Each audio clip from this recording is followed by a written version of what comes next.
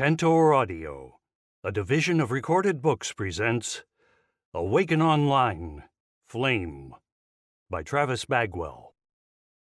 Narrated by David Stifel.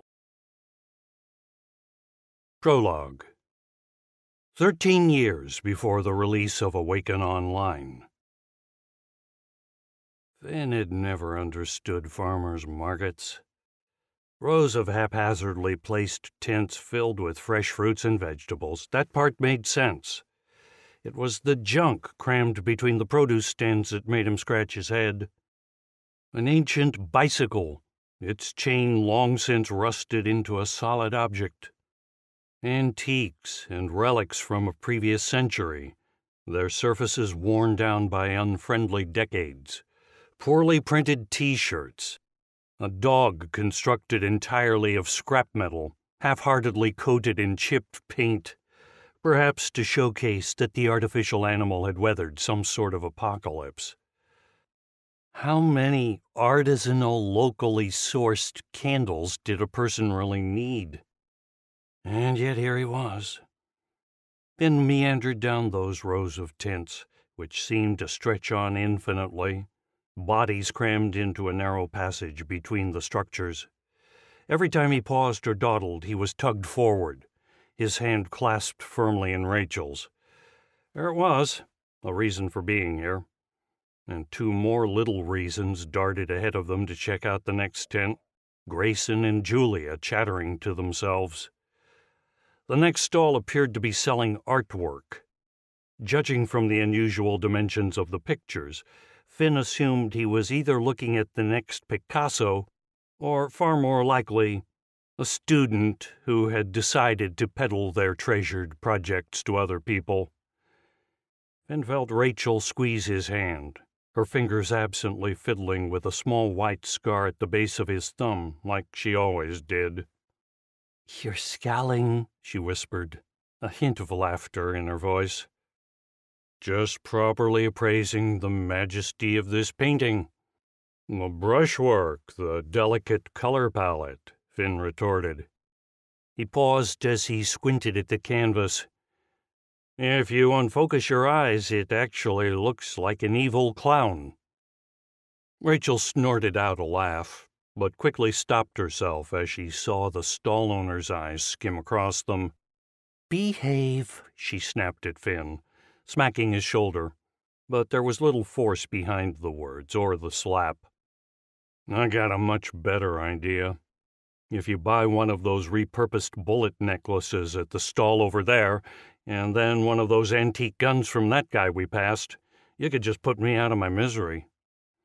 Rachael shook her head, trying and failing to suppress a laugh. You know, this is supposed to be family time. It's one of the few times we all get to see you. Finn nodded solemnly. You're right.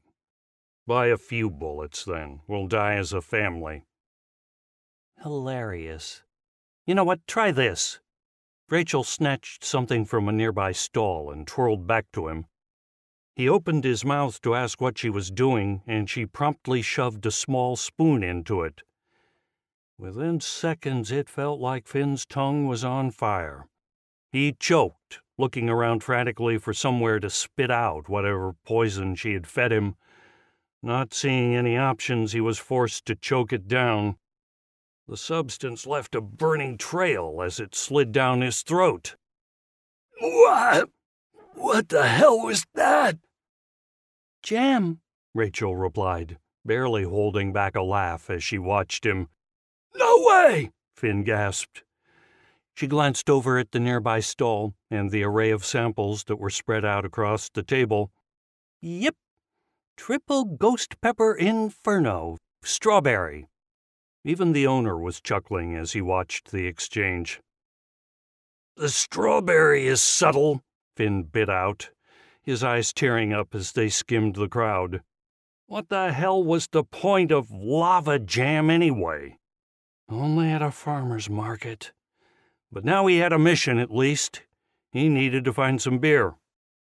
However, Finn was interrupted in his quest as their children came running back, Julia in the lead and Grayson's taller, gangly form trudging along behind her. Julia snatched at Finn's hand, peering up at him excitedly. Daddy, there's a band. Dance with me? Finn followed her finger to see that a clearing opened ahead, the junk filled tents ringing a makeshift dance floor, and the tang of country music drifting through the air.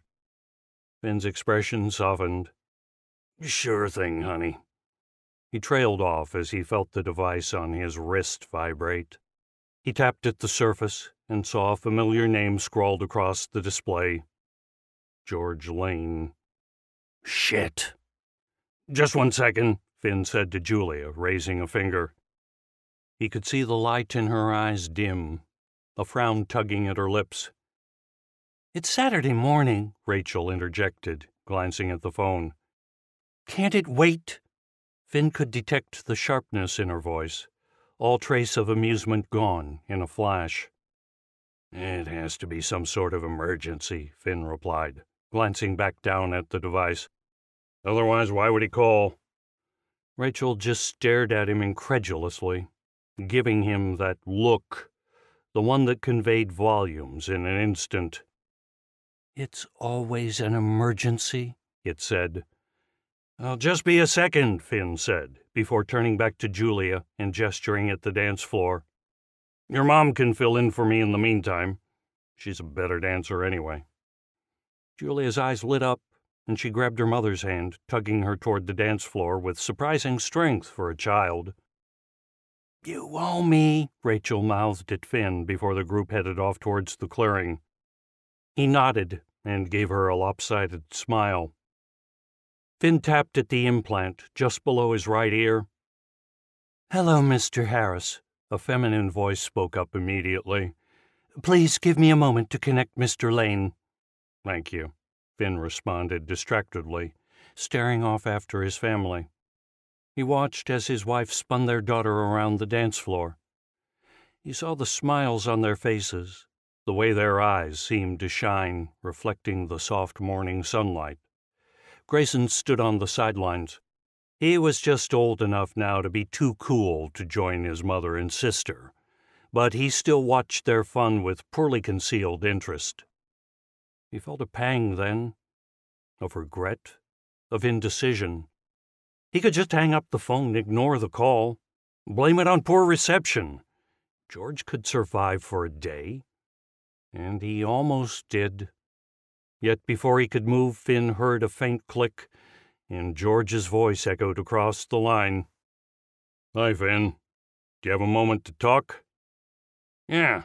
Yeah, what's going on? Finn asked, turning away from his family. There would always be another time, another day, another market. Rachael and the kids could wait for a few minutes while he took care of this. Chapter 1 Burning. Finn stood still, his palms together, his muscles loose, and his breathing even. The tips of his fingers slowly traced the faint scar at the base of his thumb. It was strange how real Awaken Online felt to him now.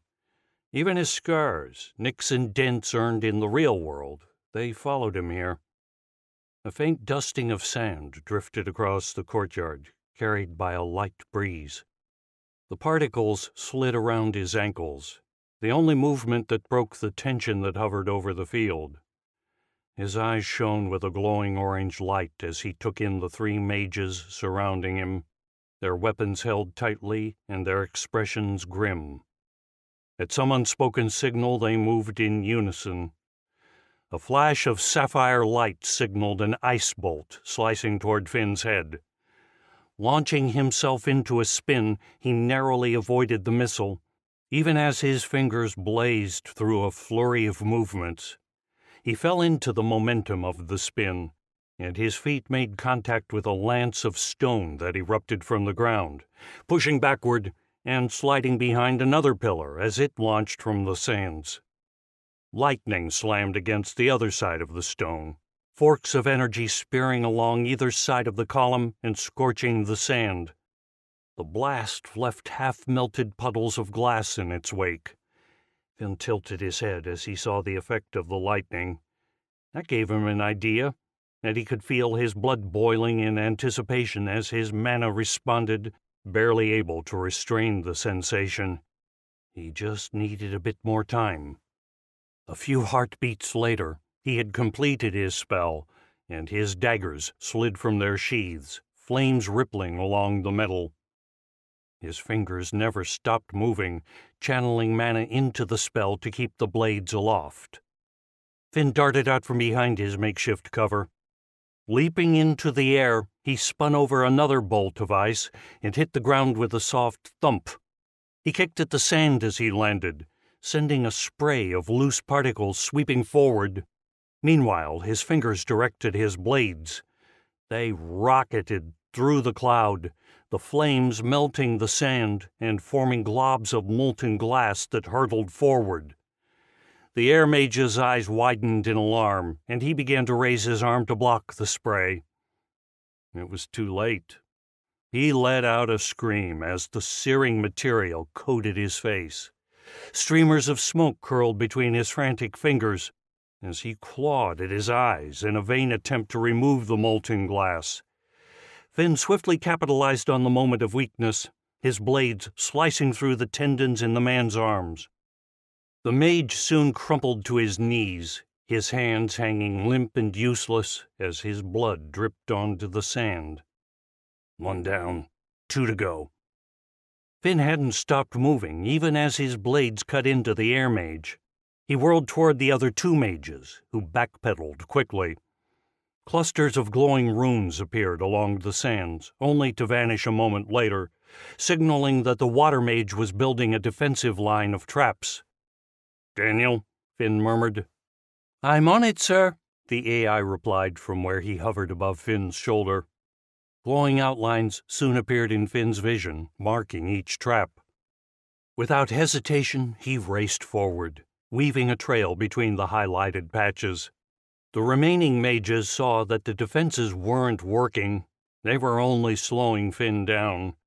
The water mage began summoning a flurry of ice bolts to put more pressure on him, but Finn dodged and danced around the missiles as they raced past, keeping his daggers close in case the earth mage intervened. He could already see that the other man's fingers were winding through a more complicated spell. Journeyman level, at least but he didn't recognize the incantation or gestures. Another barrage of ice soon followed, yet Finn neatly avoided the missiles. He needed to wait. His eyes were on the glowing line that marked the edge of his control range as it sped closer to his two opponents. Then the Earth Mage finished his spell, and something unexpected happened. A surge of green energy rippled through the air, and Finn felt a forceful tug that continued to grow in strength with each passing second, yanking him toward the mages. He quickly slid to a halt, resisting the gravitational pull before it could inadvertently drag him across a trap.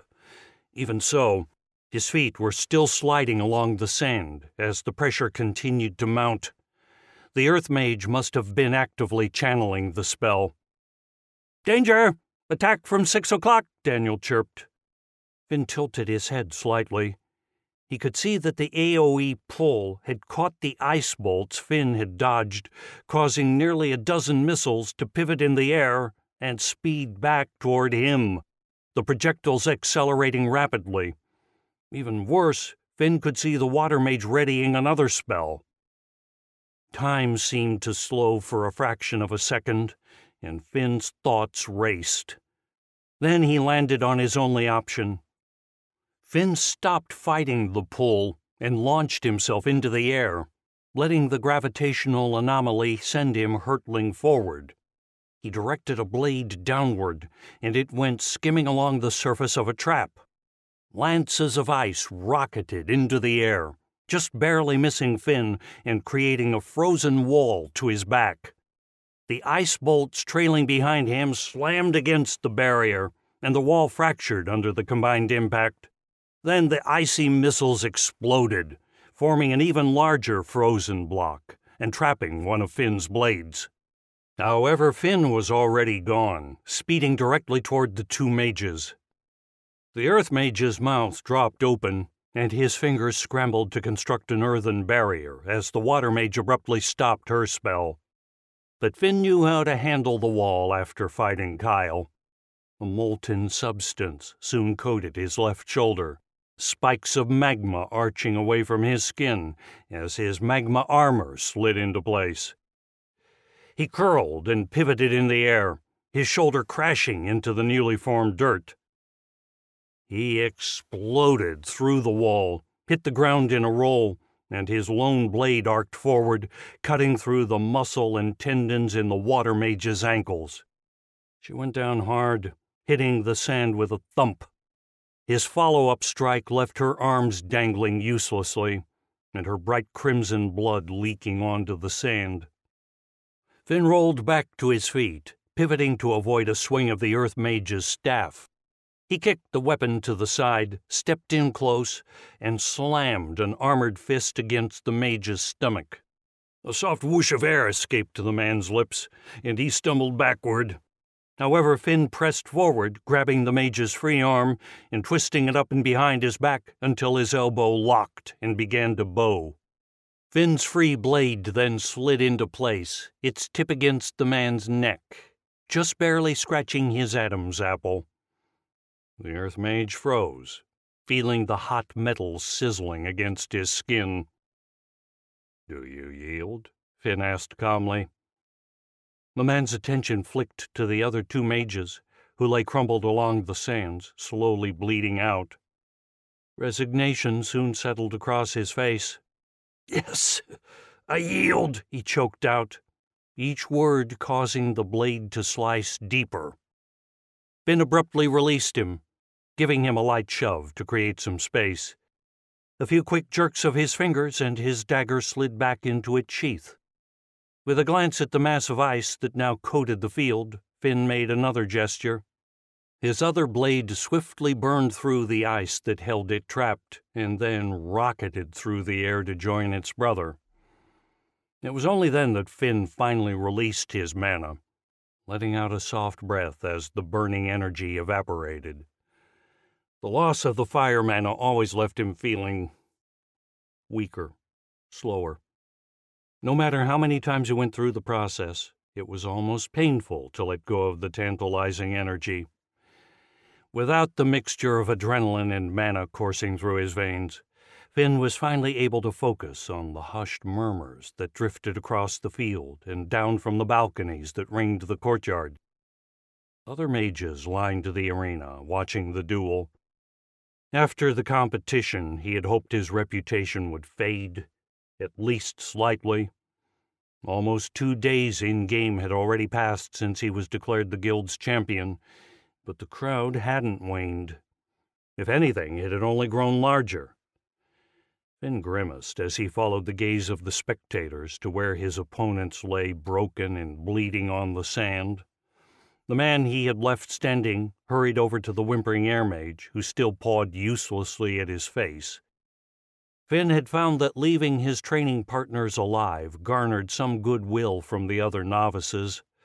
The wounds would heal, and it was better than losing nearly an hour to the deathscape. Plus, it prevented the faculty from shutting down these informal duels. But it didn't make his actions any less brutal. Perhaps he'd gone too far again.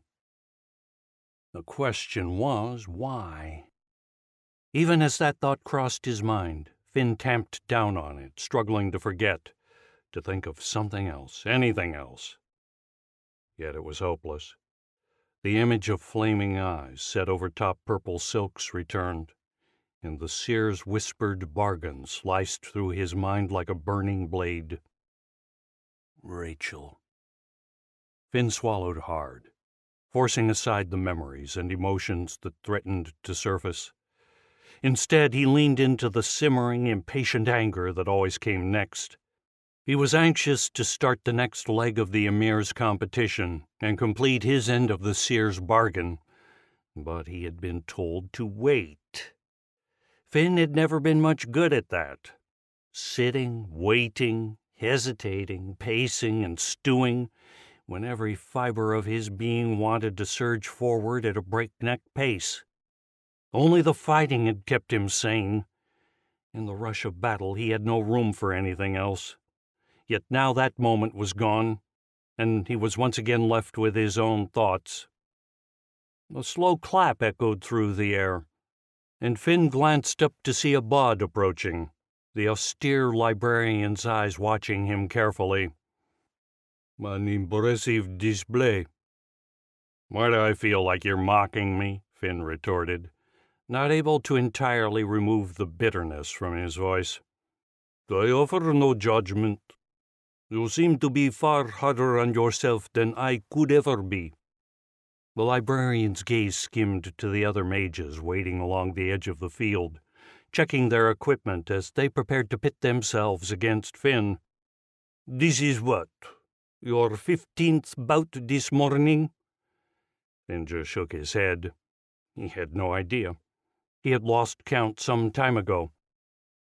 I take it you've been watching me for a while then? He hadn't seen the librarian arrive, but that was no surprise, with the way the man could summon a curtain of reflective air. Only a moment, Abad replied. I've actually come to collect you. Although I'm certain your would-be competitors and fans will sorely miss you. Finn glanced up sharply, and he could feel his mana flare in his veins, like the pop and crackle of a campfire. Is it time? He had been waiting for this moment ever since he had been crowned champion. The Abad nodded. Indeed, the Emir has summoned the three champions to explain your next steps. A moment's hesitation. Although there is something I would like for you to see first, assuming you are able to remain patient just a bit longer. Is that a request or an order?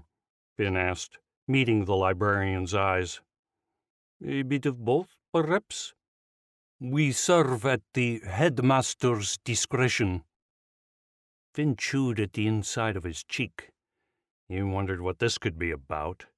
Perhaps Lamia's disappearance? Although no one had seemed to notice that the water mage master had mysteriously vanished. Another instructor had simply shown up in her place, and things had continued as normal or normal for the Mage Guild, anyway. There had been little love lost between Lamia and the students, so maybe no one cared. Finn supposed he was lucky that someone so reviled had chosen to ambush him. Either way, there was no sense raising the issue unless Abad did first. Finn's eyes skimmed to the corner of the courtyard where a faint shadow lingered beneath the first floor terrace. He knew Julia stood there, watching and waiting. His fingers shifted slightly. A short message and a simple code they had developed during the many attempts on his life. Then he turned back to Abad. Well, you know me. I'm never one to ignore an order from Nefrit, Finn said finally, his voice tinged with sarcasm. Abad arched a lone eyebrow. Indeed? He gestured toward the edge of the field. Then come along. We have no time to waste. Chapter 2 Corrupted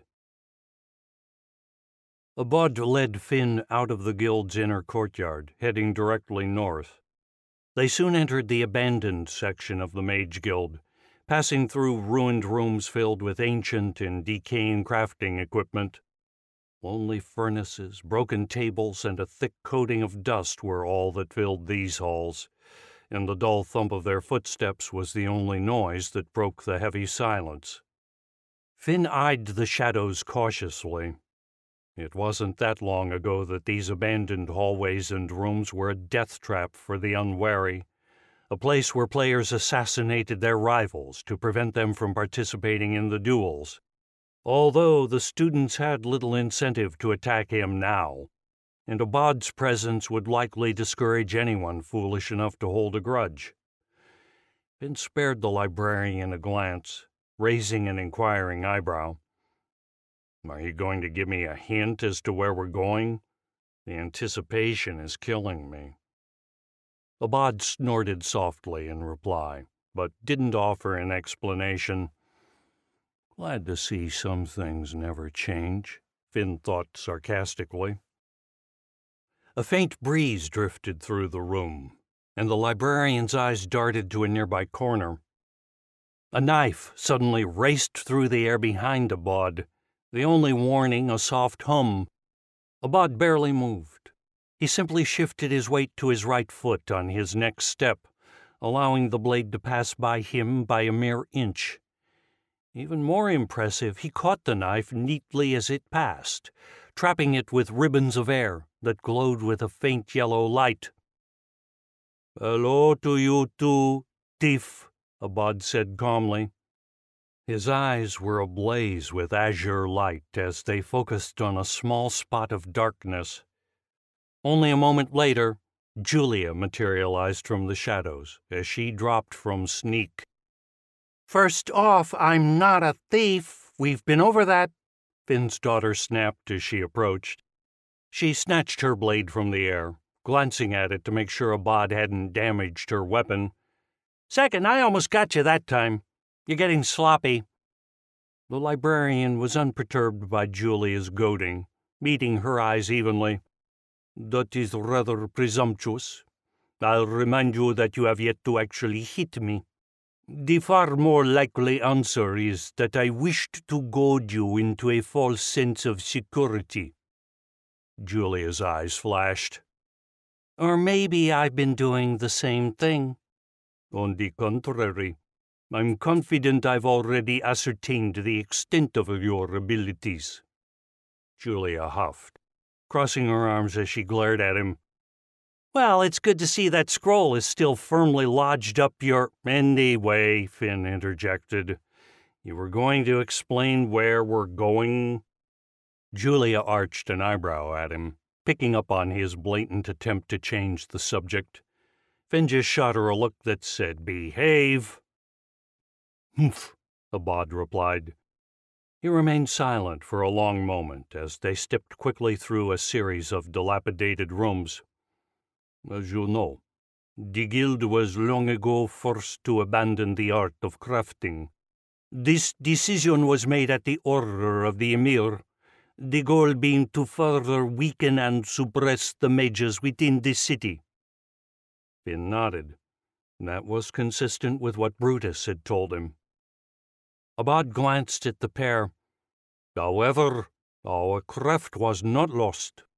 Instead, it was traded away to the Merchant Guild, who eventually evolved from simple tradesmen to something akin to magical mechanics. Julia shook her head. Wait, what? How is that possible? I thought mages were forced to train here, in the Mage Guild. Abad cocked his head. Your response assumes that crafting requires knowledge in the art of spellcasting, which is not always necessary. He shrugged.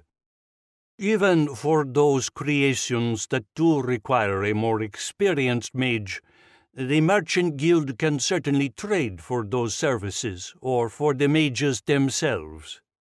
Uh, what do you mean by trading for mages? Finn asked, sharing a confused look with Julia. Those with an aptitude for magic are required to obtain their initial training here, but upon reaching journeyman rank, our students and our faculty can be traded between the guilds. Abad replied as though this was obvious. In fact, the other two guilds often attempt to entice our members away, offering rewards, status, power, wealth, the typical baubles that distract and seduce. Finn's forehead furrowed as his thoughts turned to the spider legged woman that ran the guild's requisition hall. Charlotte had mentioned she represented the Merchant Guild, but he had also clearly seen her manipulate air magic which had been a point of confusion. Wait, so is Charlotte one of those mages recruited by the Merchant Guild? Finn asked. Yes, although her story was a bit more dire, Abad answered. She suffered an injury as a journeyman and the merchants offered to replace her legs in return for her lifelong service. As the librarian noticed their shocked expressions, he continued, As I said, their offers can be compelling. He waved a hand. The Mage Guild then permits an emissary of the merchants to sell their merchandise within our halls. But students just buy equipment using made up points, Julia pointed out. I don't see what the Merchant Guild gets out of that. Abad nodded. The students use points they earn during the duels to make their purchases, but the Mage Guild pays the real cost. He let that statement dangle in the air, as though testing them. Finn chewed on the inside of his cheek. How exactly did the Mage Guild pay for those resources? All those magical items couldn't be cheap, and the Guild didn't really have anything to offer in return. He hesitated at that thought. Except there was one valuable commodity that the Mage Guild had to trade Abad had as much as admitted it already. Our guild trades people for those items? Finn asked. Julia glanced at him in surprise, her mouth pinched into a thin, grim line. They were starting to realize why the population within the guild remained relatively stable. Between the students that were purged and those that were traded, the Mage Guild likely lost a considerable number of mages each week. Indeed, our students are our primary export, Abad said, gesturing at yet another abandoned room as they passed. His point was clear. The mages were clearly no longer trading crafted goods. We also trade mages and other services to the Fighter Guild in return for the armed guards you see about our halls. Although it's not as dire as it sounds, Abad continued. As I mentioned, our students are often glad to leave. The other guilds offer enticements, since there is little value in a recalcitrant slave. More interesting is the value of our mages. The more experienced or powerful the mage, the greater their worth. And of course, the duels are a remarkable mechanism for sorting and weighing the students. Finn felt a few more facts click together in his head. Much of the Mage Guild's system suddenly beginning to make sense. The ongoing competition served many purposes. It kept the students fighting each other instead of focusing on the walls of their prison, and it allowed them to purchase equipment to rack up guild debt. Then it sorted and ranked the mages for future sale. Each mage was basically creating his or her own price tag. And this sort of institutionalized indentured servitude furthered the Emir's goal, spreading the mages among the three guilds, where they were less likely or able to band together. Shit, Finn muttered as the depth and complexity of this system finally settled in his mind. He could see the same realization reflected on Julia's face. Oh, not to worry. You are now far too valuable to sell, Abad added, a hint of amusement coloring his voice. Speaking of which, the librarian continued, after your success in the competition and your nomination as guild champion, Nefret has ordered that you be promoted to journeyman rank, effective immediately. Before Finn could react, Abad snatched his left arm, a stylus materializing in his hand. In a blur of motion, Abad etched a new tattoo across Finn's skin. The image of a set of footprints soon wound their way up his arm, hovering above the marks for his guild induction and class change. As Finn surveyed his arm, his fingers traced the five point star at his wrist. It was the simple mark that he had received upon first entering the Mage Guild, although it felt like an age had passed since then. Finn's thoughts were interrupted as a prompt appeared before him.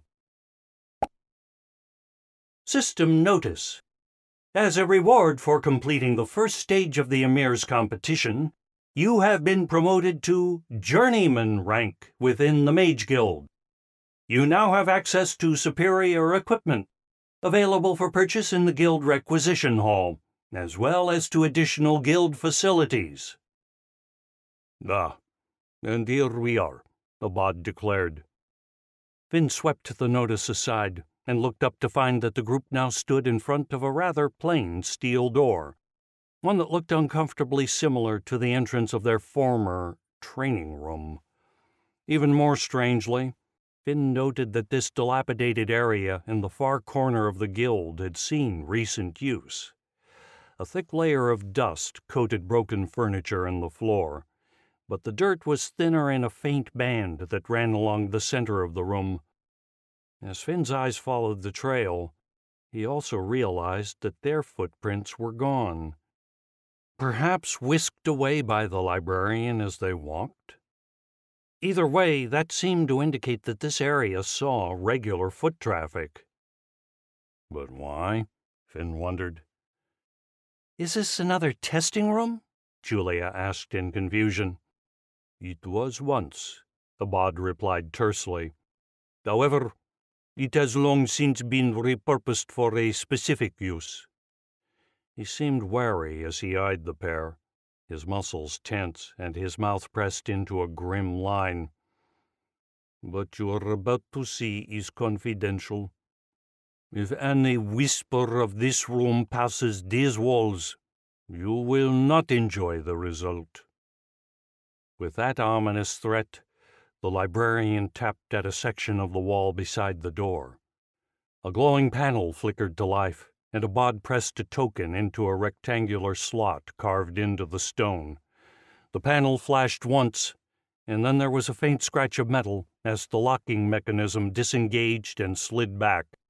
Only a few seconds later, the steel door slid open on well greased hinges, and Abad stepped through without hesitation. Murder room. It's totally going to be a murder room, Julia muttered, and then followed the librarian inside. Finn didn't feel much better about the cloak and dagger act either, especially not after learning that the Mage Guild traded its students like some sort of currency, or the constant assassination attempts or the blatant cheating by one of the faculty in the Emir's competition, or the relentless death match among the students. Now that he thought about it, the Guild hadn't really done anything to earn his vote of confidence. The real question was how they planned to keep lowering the bar. Although he supposed there was one way to find out. With a sigh, Finn stepped through the door. Chapter 3 Drained Finn was expecting a plain square room like their former training area.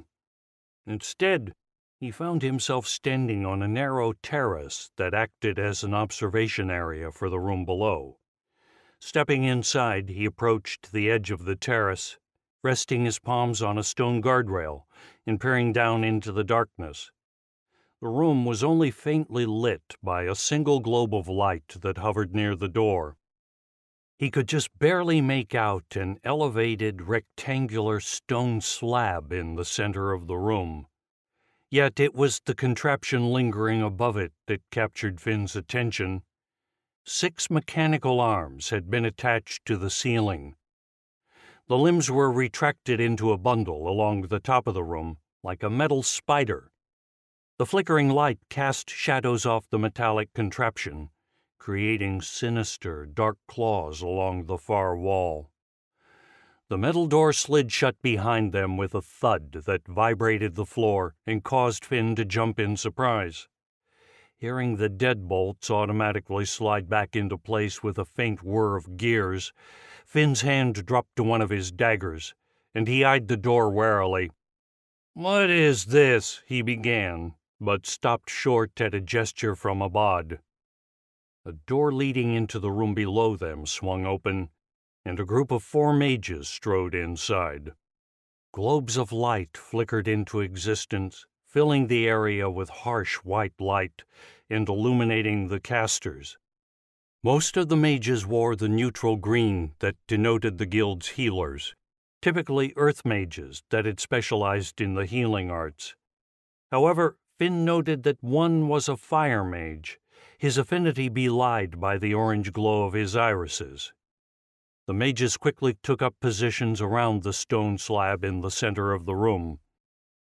His attention darted to the last man who trailed the group, and his brow furrowed as he realized he wasn't wearing the robes or the lightweight armor favored by most mages. Instead, his clothing was riddled with pouches and pockets. Even more curious, a mechanical lens was mounted to one eye. Possibly a member of the Merchant Guild? Finn wasn't given an opportunity to ask. Suddenly, two more guards entered the room. They half dragged and half carried a woman between them, her mouth gagged. Her plain beige robes and the lone star shaped mark on her left arm indicated that she was a novice and hadn't yet attained her class. Struggling against the two guards, she managed to spit out her gag. Let me go, she shouted, kicking at one of the men. Then the woman's attention skimmed across the group on the terrace a mixture of fear and anger shining in her eyes. Help me, please!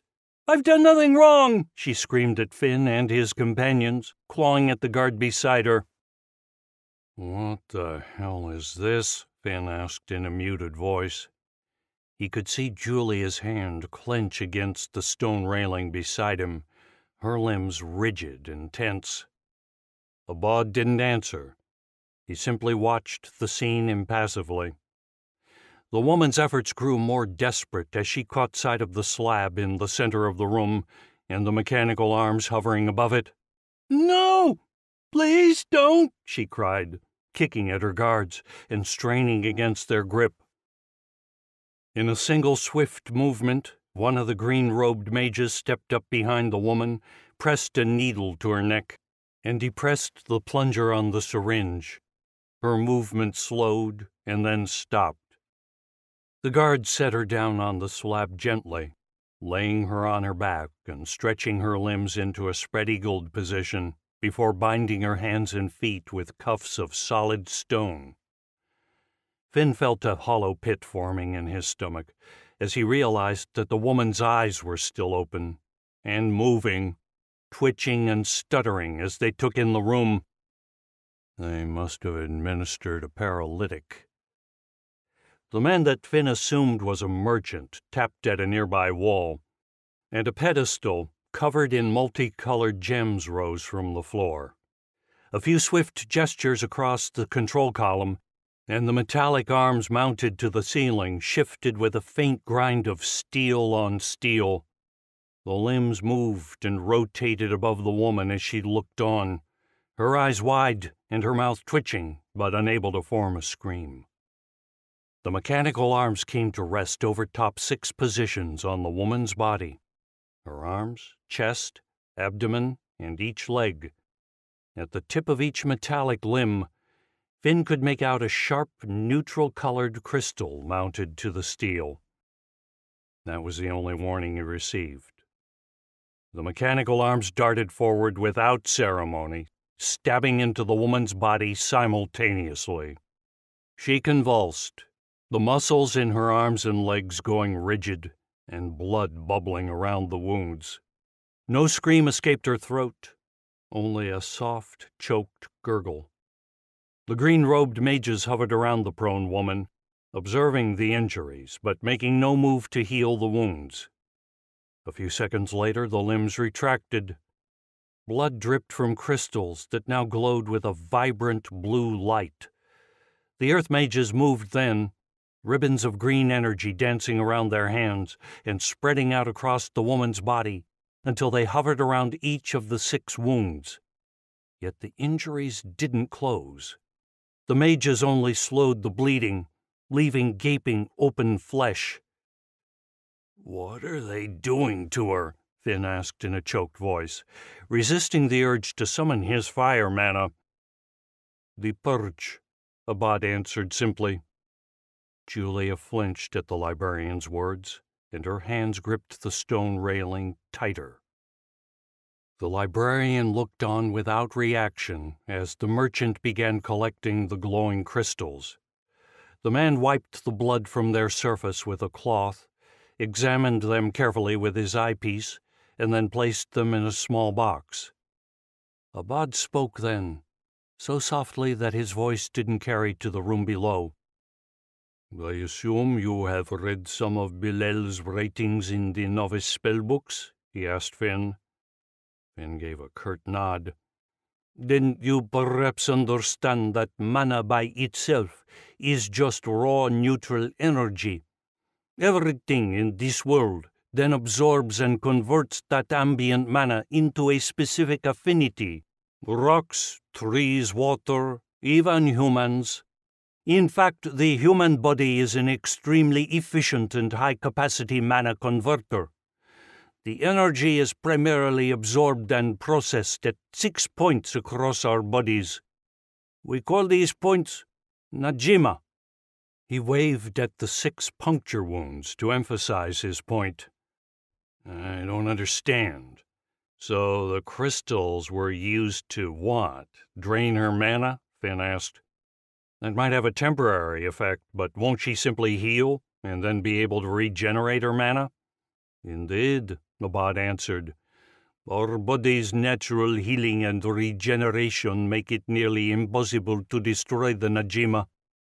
Nearly, the librarian repeated quietly. Finn followed his gaze back to the room.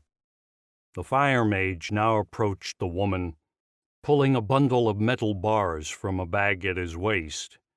They were slender scraps of iron, the length of a finger and the width of a nail. With a few quick gestures, the bar was soon engulfed in flame, drifting up into the air. Finn knew that spell well. The other mage was casting imbue fire, or at least a variant of it. As he watched, the flames grew brighter and brighter until they took on a bluish hue. In a flash, the heat receded, leaving a glowing glob of molten metal. With a jerk of his hands, the fire mage set the glob to spinning, the rotation causing it to form a perfect sphere the size of a small marble. While the metal still glowed red hot, the fire mage's fingers then directed it to the prone woman's body. The molten globe darted forward, passing the tendrils of green energy channeled by the earth mages and entering an open wound in the woman's arm. The sphere caused the surrounding blood and flesh to sizzle, sending off small streamers of smoke. The woman convulsed again, more violently this time, her muscles straining involuntarily against her bindings and her eyes wide and wild. With one final choked off scream, she collapsed, finally losing consciousness.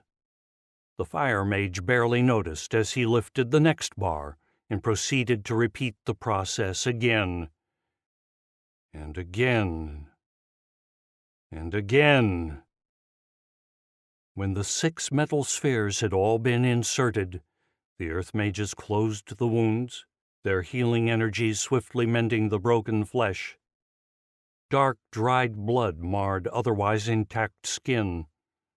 The only evidence of the surgery was six white, star shaped scars where the crystals had initially punctured the woman's skin.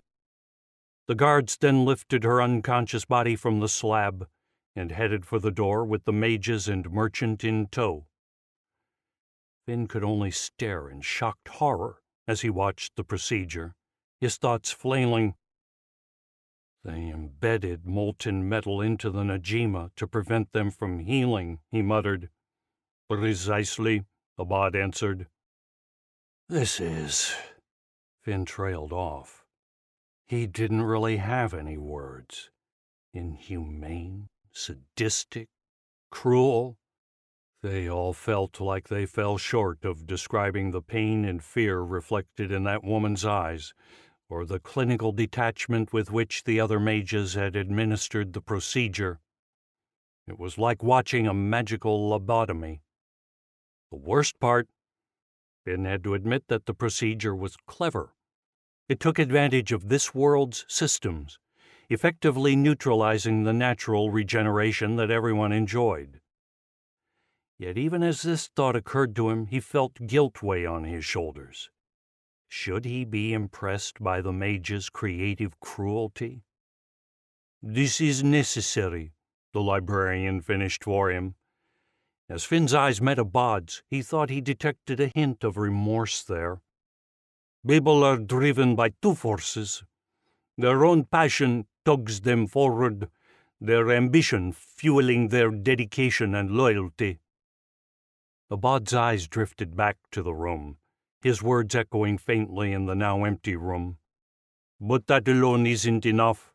No, you need both a carrot and a stick. A person needs to be afraid of failure, desperately afraid. That fear pushes them forward even when the carrot is taken away or success seems impossible. Finn felt the wavering thoughts bouncing through the back of his head begin to crystallize. There must be a point in forcing Finn to watch this spectacle and Abad had started to reveal a possible purpose. Nefrit wants me to be afraid, then? Abad nodded. You have completed the first stage of the Emir's competition and become our guild's champion. The carrot is your promotion within the guild and ultimately potential rulership of Lahab. The librarian nodded toward the slab. Yet the stakes are still real. Failure will result in what you just witnessed.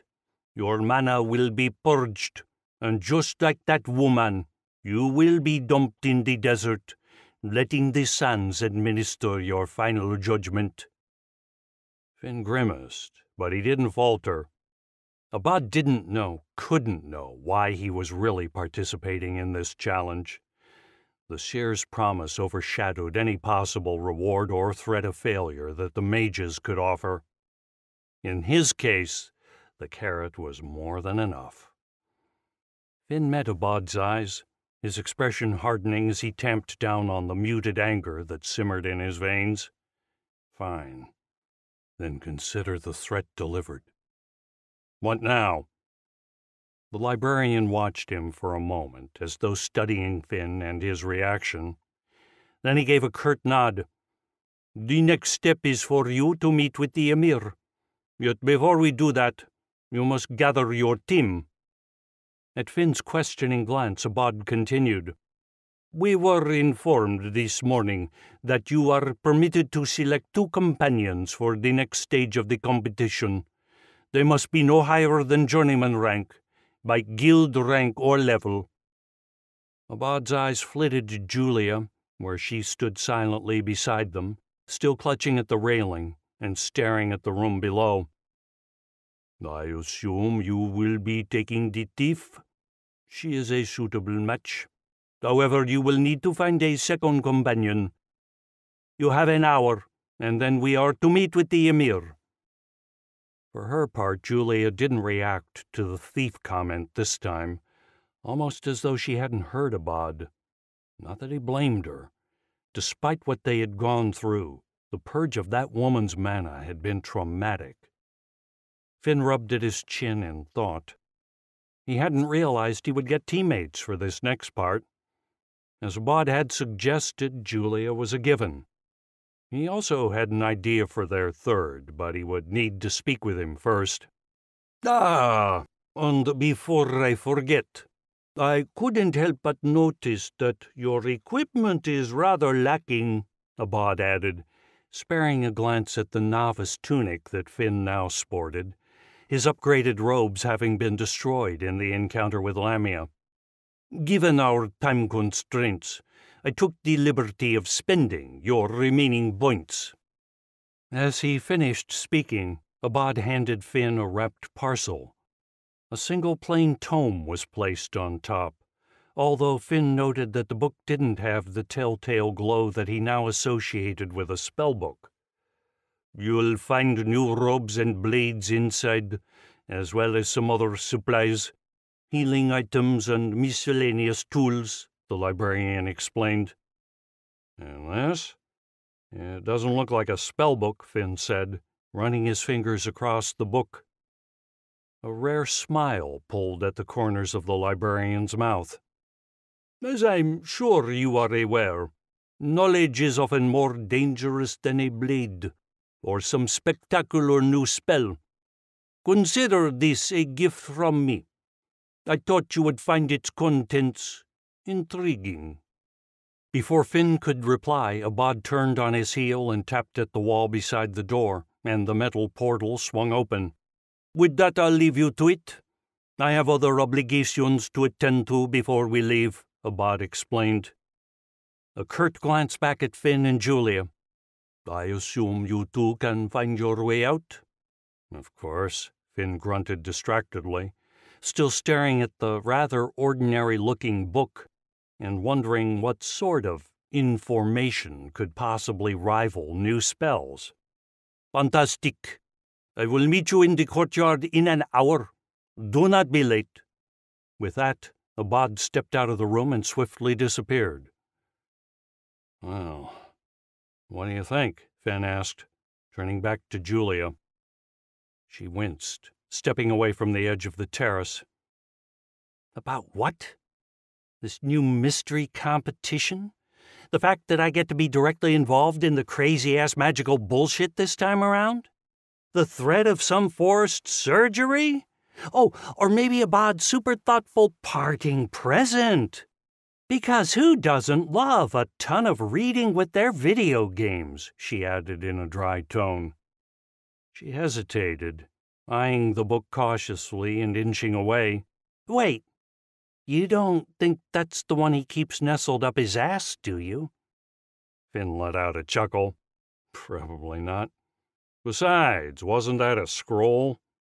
This earned him an amused snort from Julia.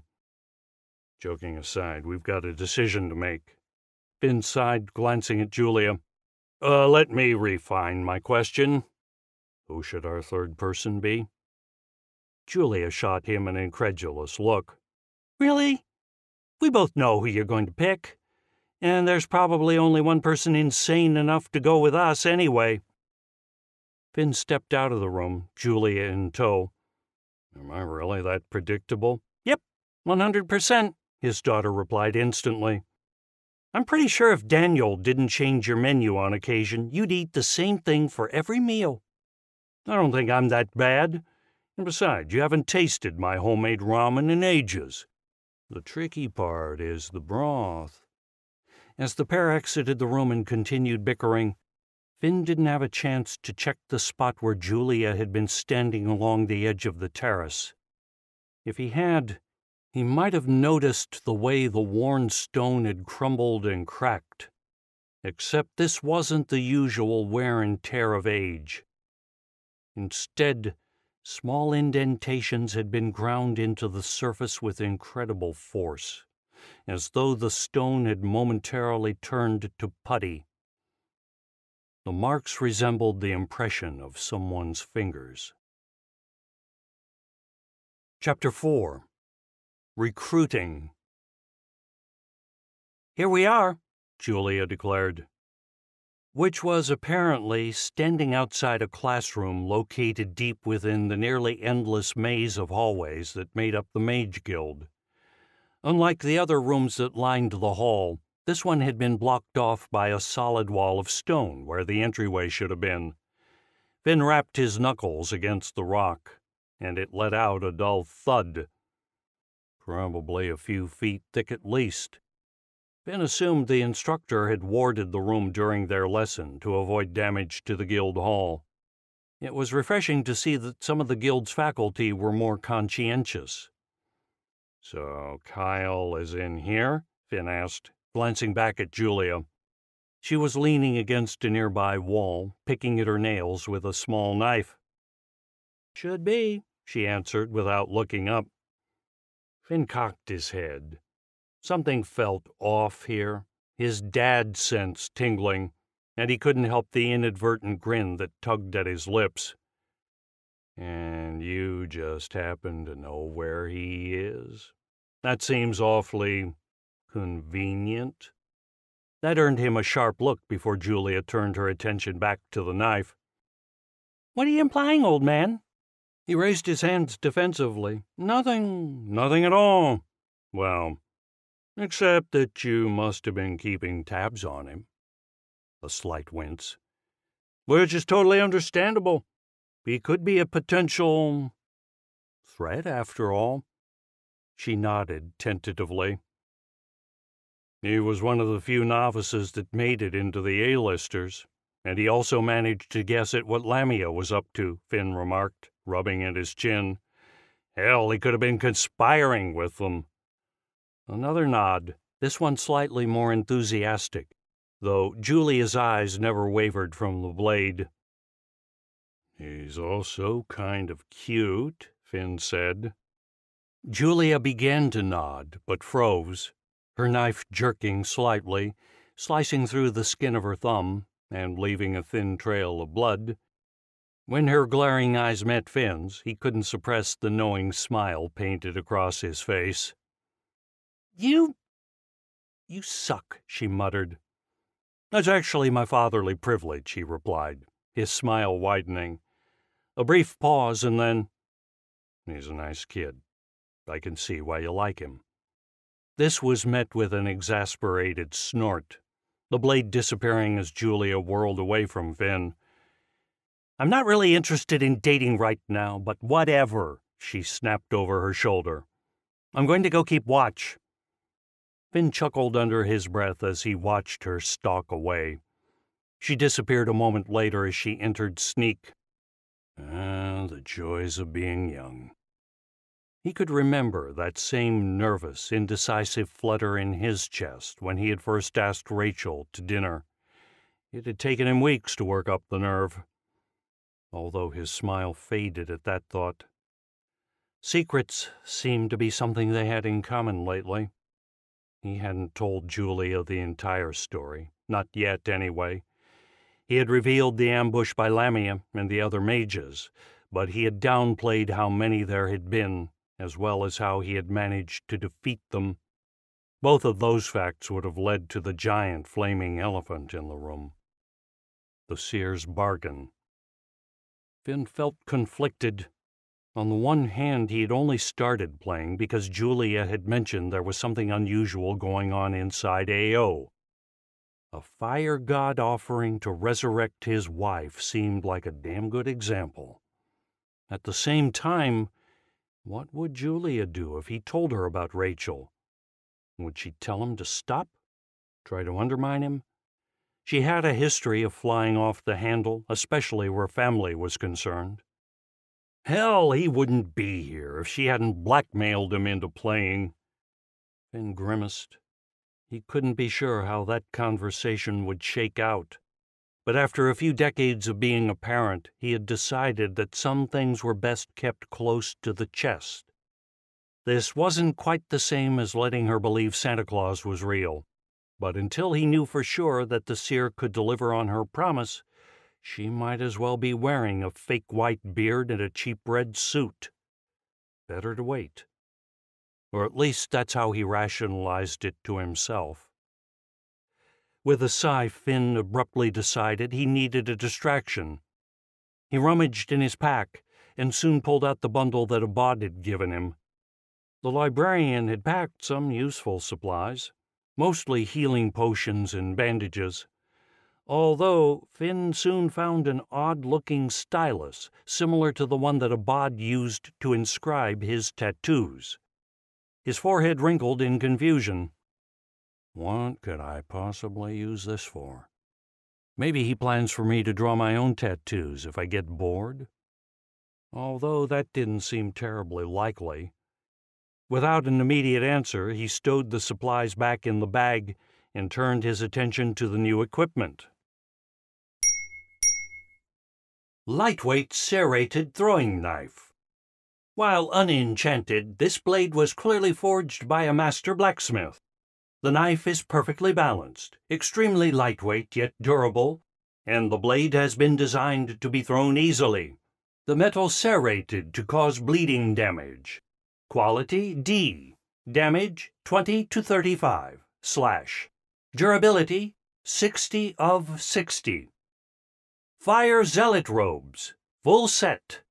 These robes were designed with a fire mage in mind. The cloth is a natural fire retardant crafted from the skin of a young fire belcher. The design and fit are also intended to encourage close range combat. There's no flowing useless fabric here. Quality C. Defense 35. Durability 75 of 75. Plus 40 intelligence, plus 25 dexterity, plus 20 fire resistance. The blades were a minor upgrade in terms of damage. The primary benefit was the lighter weight, which meant that Finn had greater speed and control while using imbue fire. The serrated edge was also interesting, possibly increasing his chance to inflict bleeding damage in addition to the direct damage of his strikes. The robes were another matter entirely. The material was extremely high quality, almost as thick as leather, although as pliable and loose as cloth. The natural fire resistance was also a nice touch. Finn had begun to notice that his abilities tended to wreak havoc on his wardrobe. All in all, he was surprised. He expected this piece of equipment alone had likely cost a small fortune. It appeared that the Mage Guild was invested in Finn's success, even if Abad had gone out of his way to make the price of failure clear. Glancing at the hallway, Finn didn't see anyone in eyeshot, so he proceeded to tug off his novice equipment and pull on the new robes. They fit snugly, wrapping around his chest and arms like a second skin. He then strapped on the sheaths for his new knives although he attached them to his thighs, keeping his original blades at his waist. As that last duel in the courtyard had emphasized, it was possible he might lose a blade mid fight. It would be nice to carry a few spares. After donning his new equipment, Finn decided to check his stats. It was at that point that he realized he hadn't checked his notifications in days. Not since the final competition among the A-listers and his encounter with Lamia. Shit. Could I have used the extra stat points during those last few duels? He sighed in relief as his log confirmed that most of the experience and skill increases had actually come from fighting Lamia and her gang, and his training after the competition. Apparently, he wasn't a complete moron although to his credit, it had been a rather grueling last few days, and he'd had a lot on his mind. The answer was definitely not that he was going senile. Maybe. Re-enabling his system notifications, Finn was met with a barrage of notices. Times 9, level up. You have 45 undistributed stat points. Times 1 spell rank up magma armor. Skill level intermediate level 4. Cost 105 mana. Effect 1 creates a damage shield capable of absorbing 360 damage, 180 damage of water or ice. Effect 2 Damage absorption increased by intelligence times 40%. Channel Effect repairs the shield at a rate of 70 damage per second at a mana cost of 25 mana per second. Times 2 spell rank up Fireball.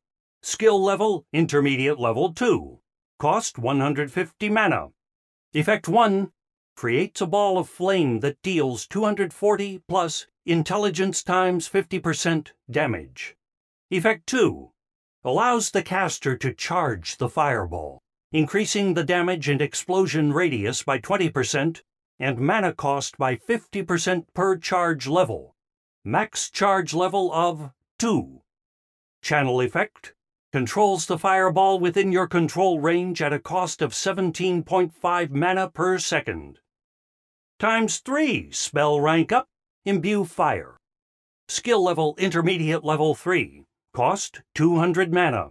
Effect 1 imbues a weapon with fire mana, increasing the weapon's base damage by intelligence times 11%.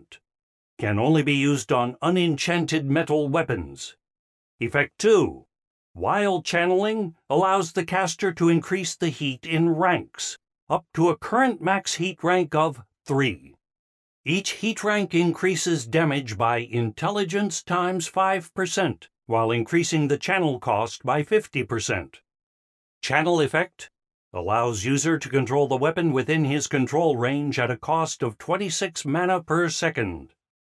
Times 2 skill rank up, learning. Skill level, intermediate level 3. Effect 1, 18% increased learning speed for skills and spells. Effect 2, 2% increased experience gain. Times 1 skill rank up, concentration. Skill level, beginner level 10. Effect, ability to split your focus between two tasks.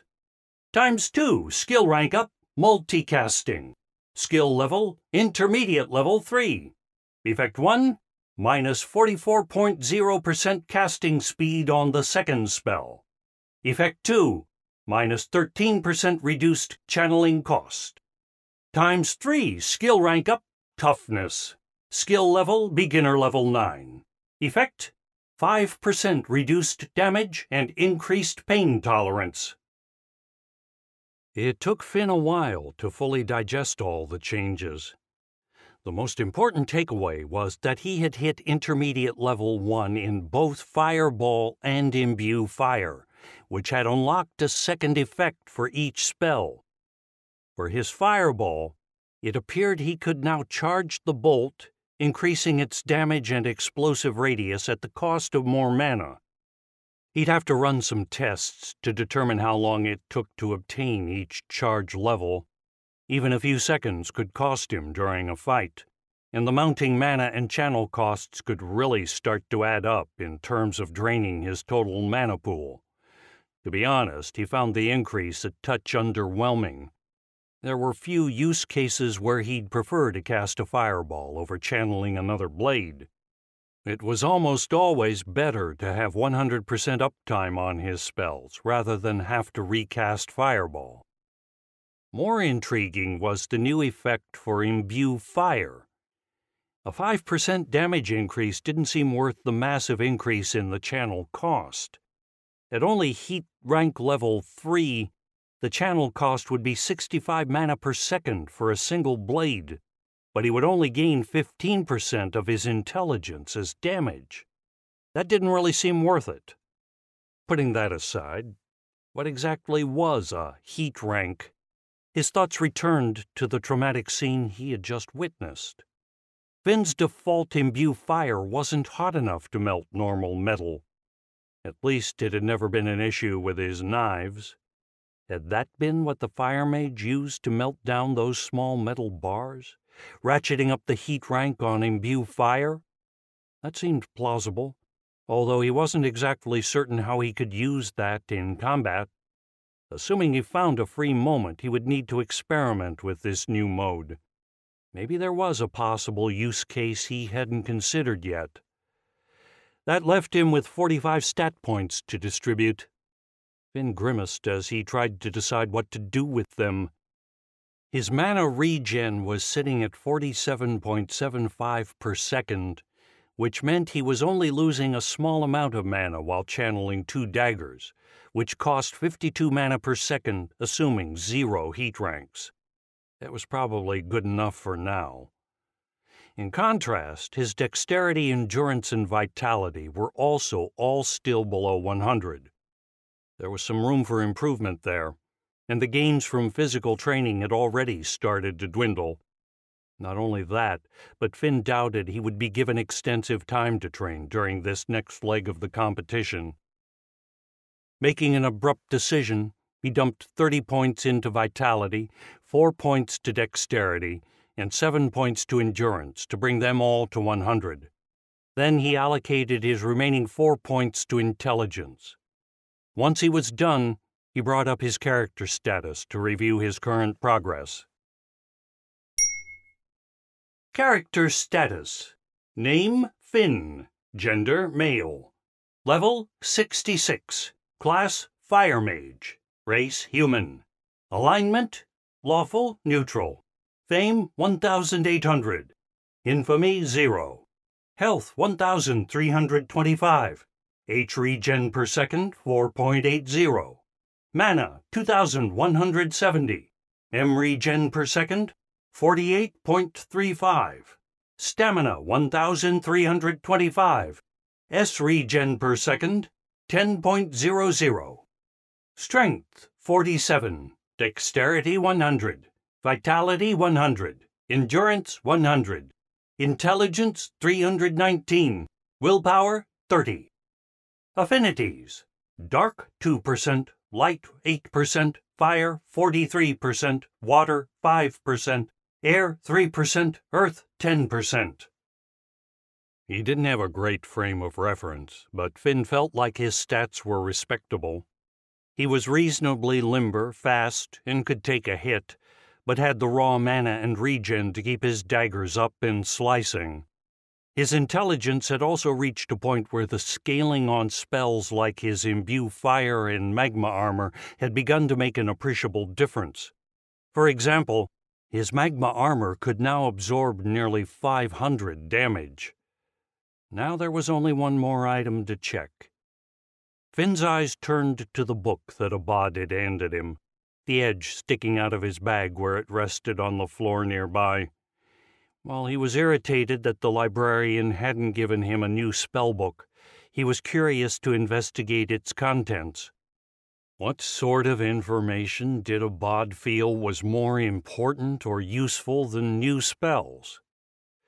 Just as Finn's fingers touched the cover, the stone blocking the doorway beside him abruptly crumbled and dissolved, breaking away into a glob of liquid rock that was swiftly reabsorbed into the floor.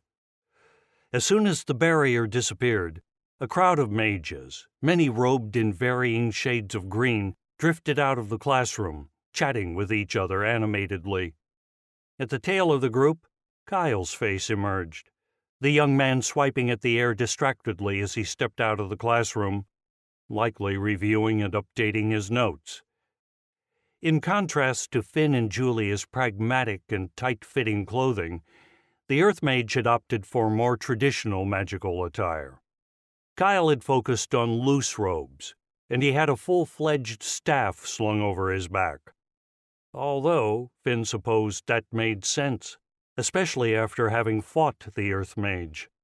Kyle's specialty was environmental control, which meant he needed more mana and the ability to use the staff to maintain a channel.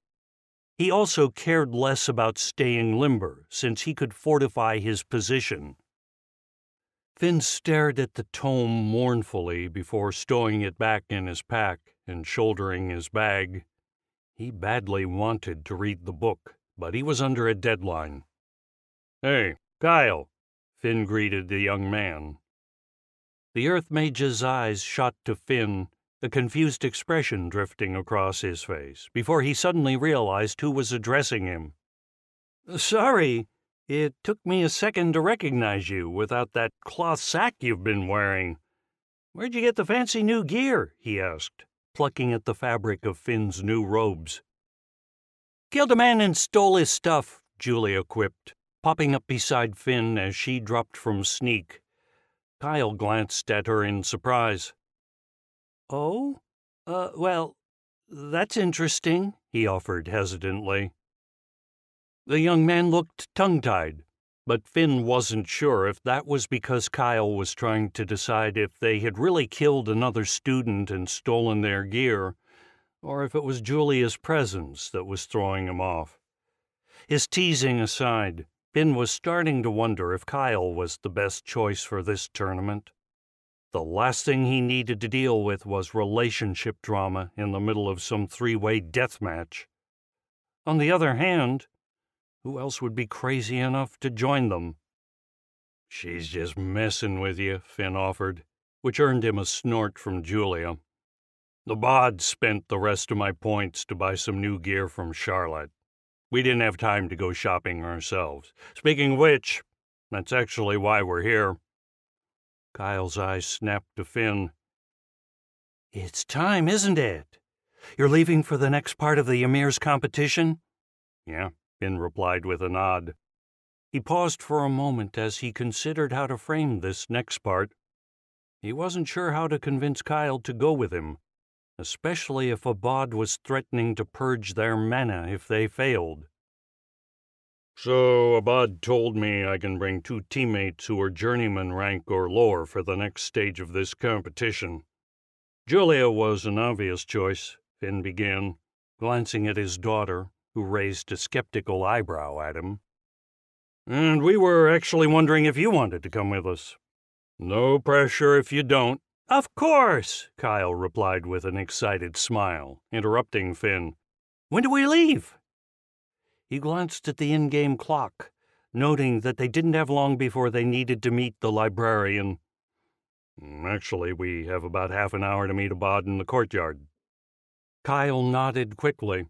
More than enough time for me to grab what I need and stop by the requisition hall. The Earth Mage started muttering to himself, swiping at the air and tapping at a console Finn couldn't see. Finn could only assume he was making yet another list because, of course, he was. Are you sure? Finn asked, holding up a hand to stay the young man's enthusiasm.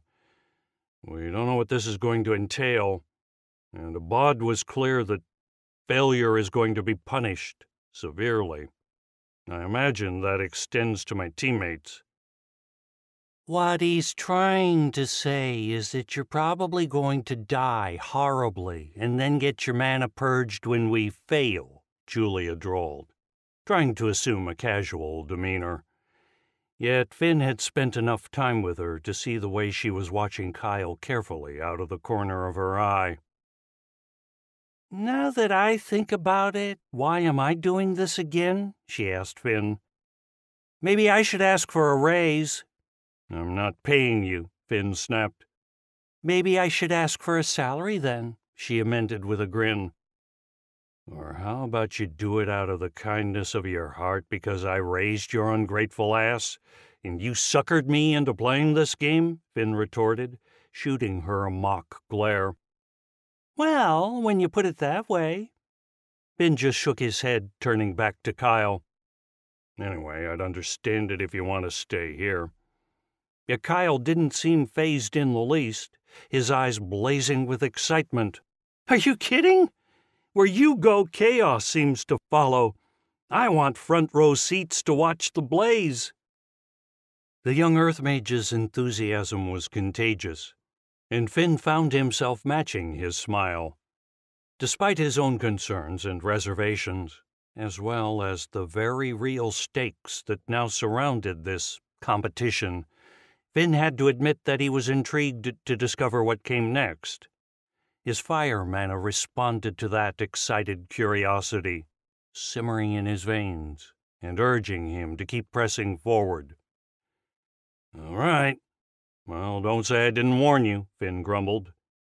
He eyed both Kyle and Julia, unable to miss the way they avoided looking at each other directly. He just hoped he didn't live to regret this decision although that could be a problem for future Finn. Well, let's get going. We're burning daylight.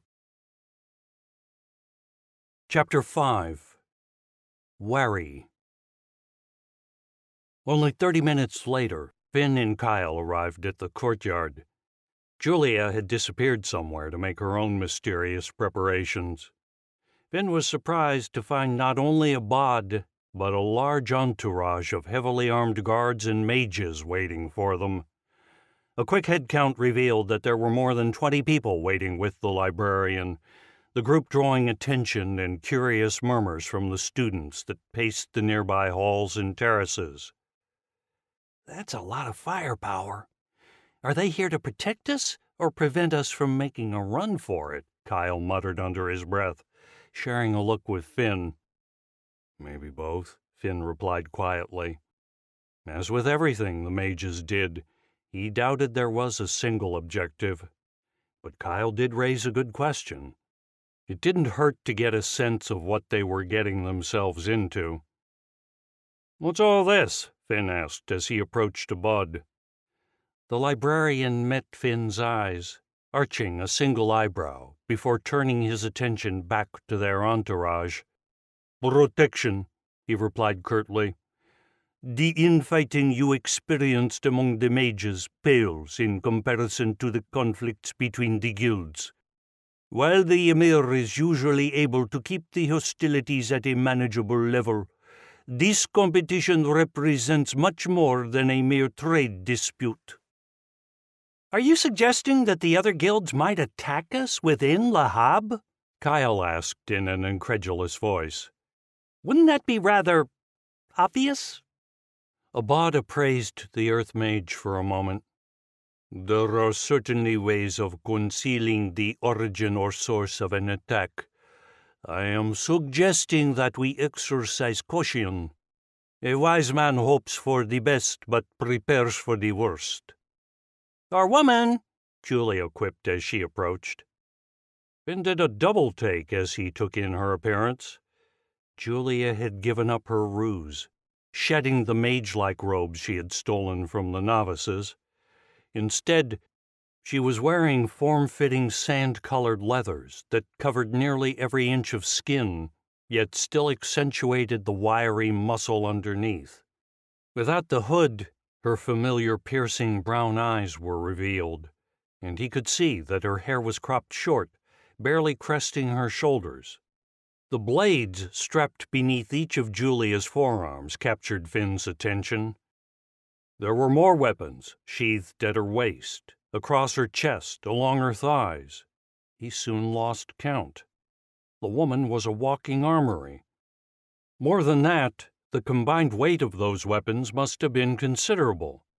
And yet, she seemed completely unaffected.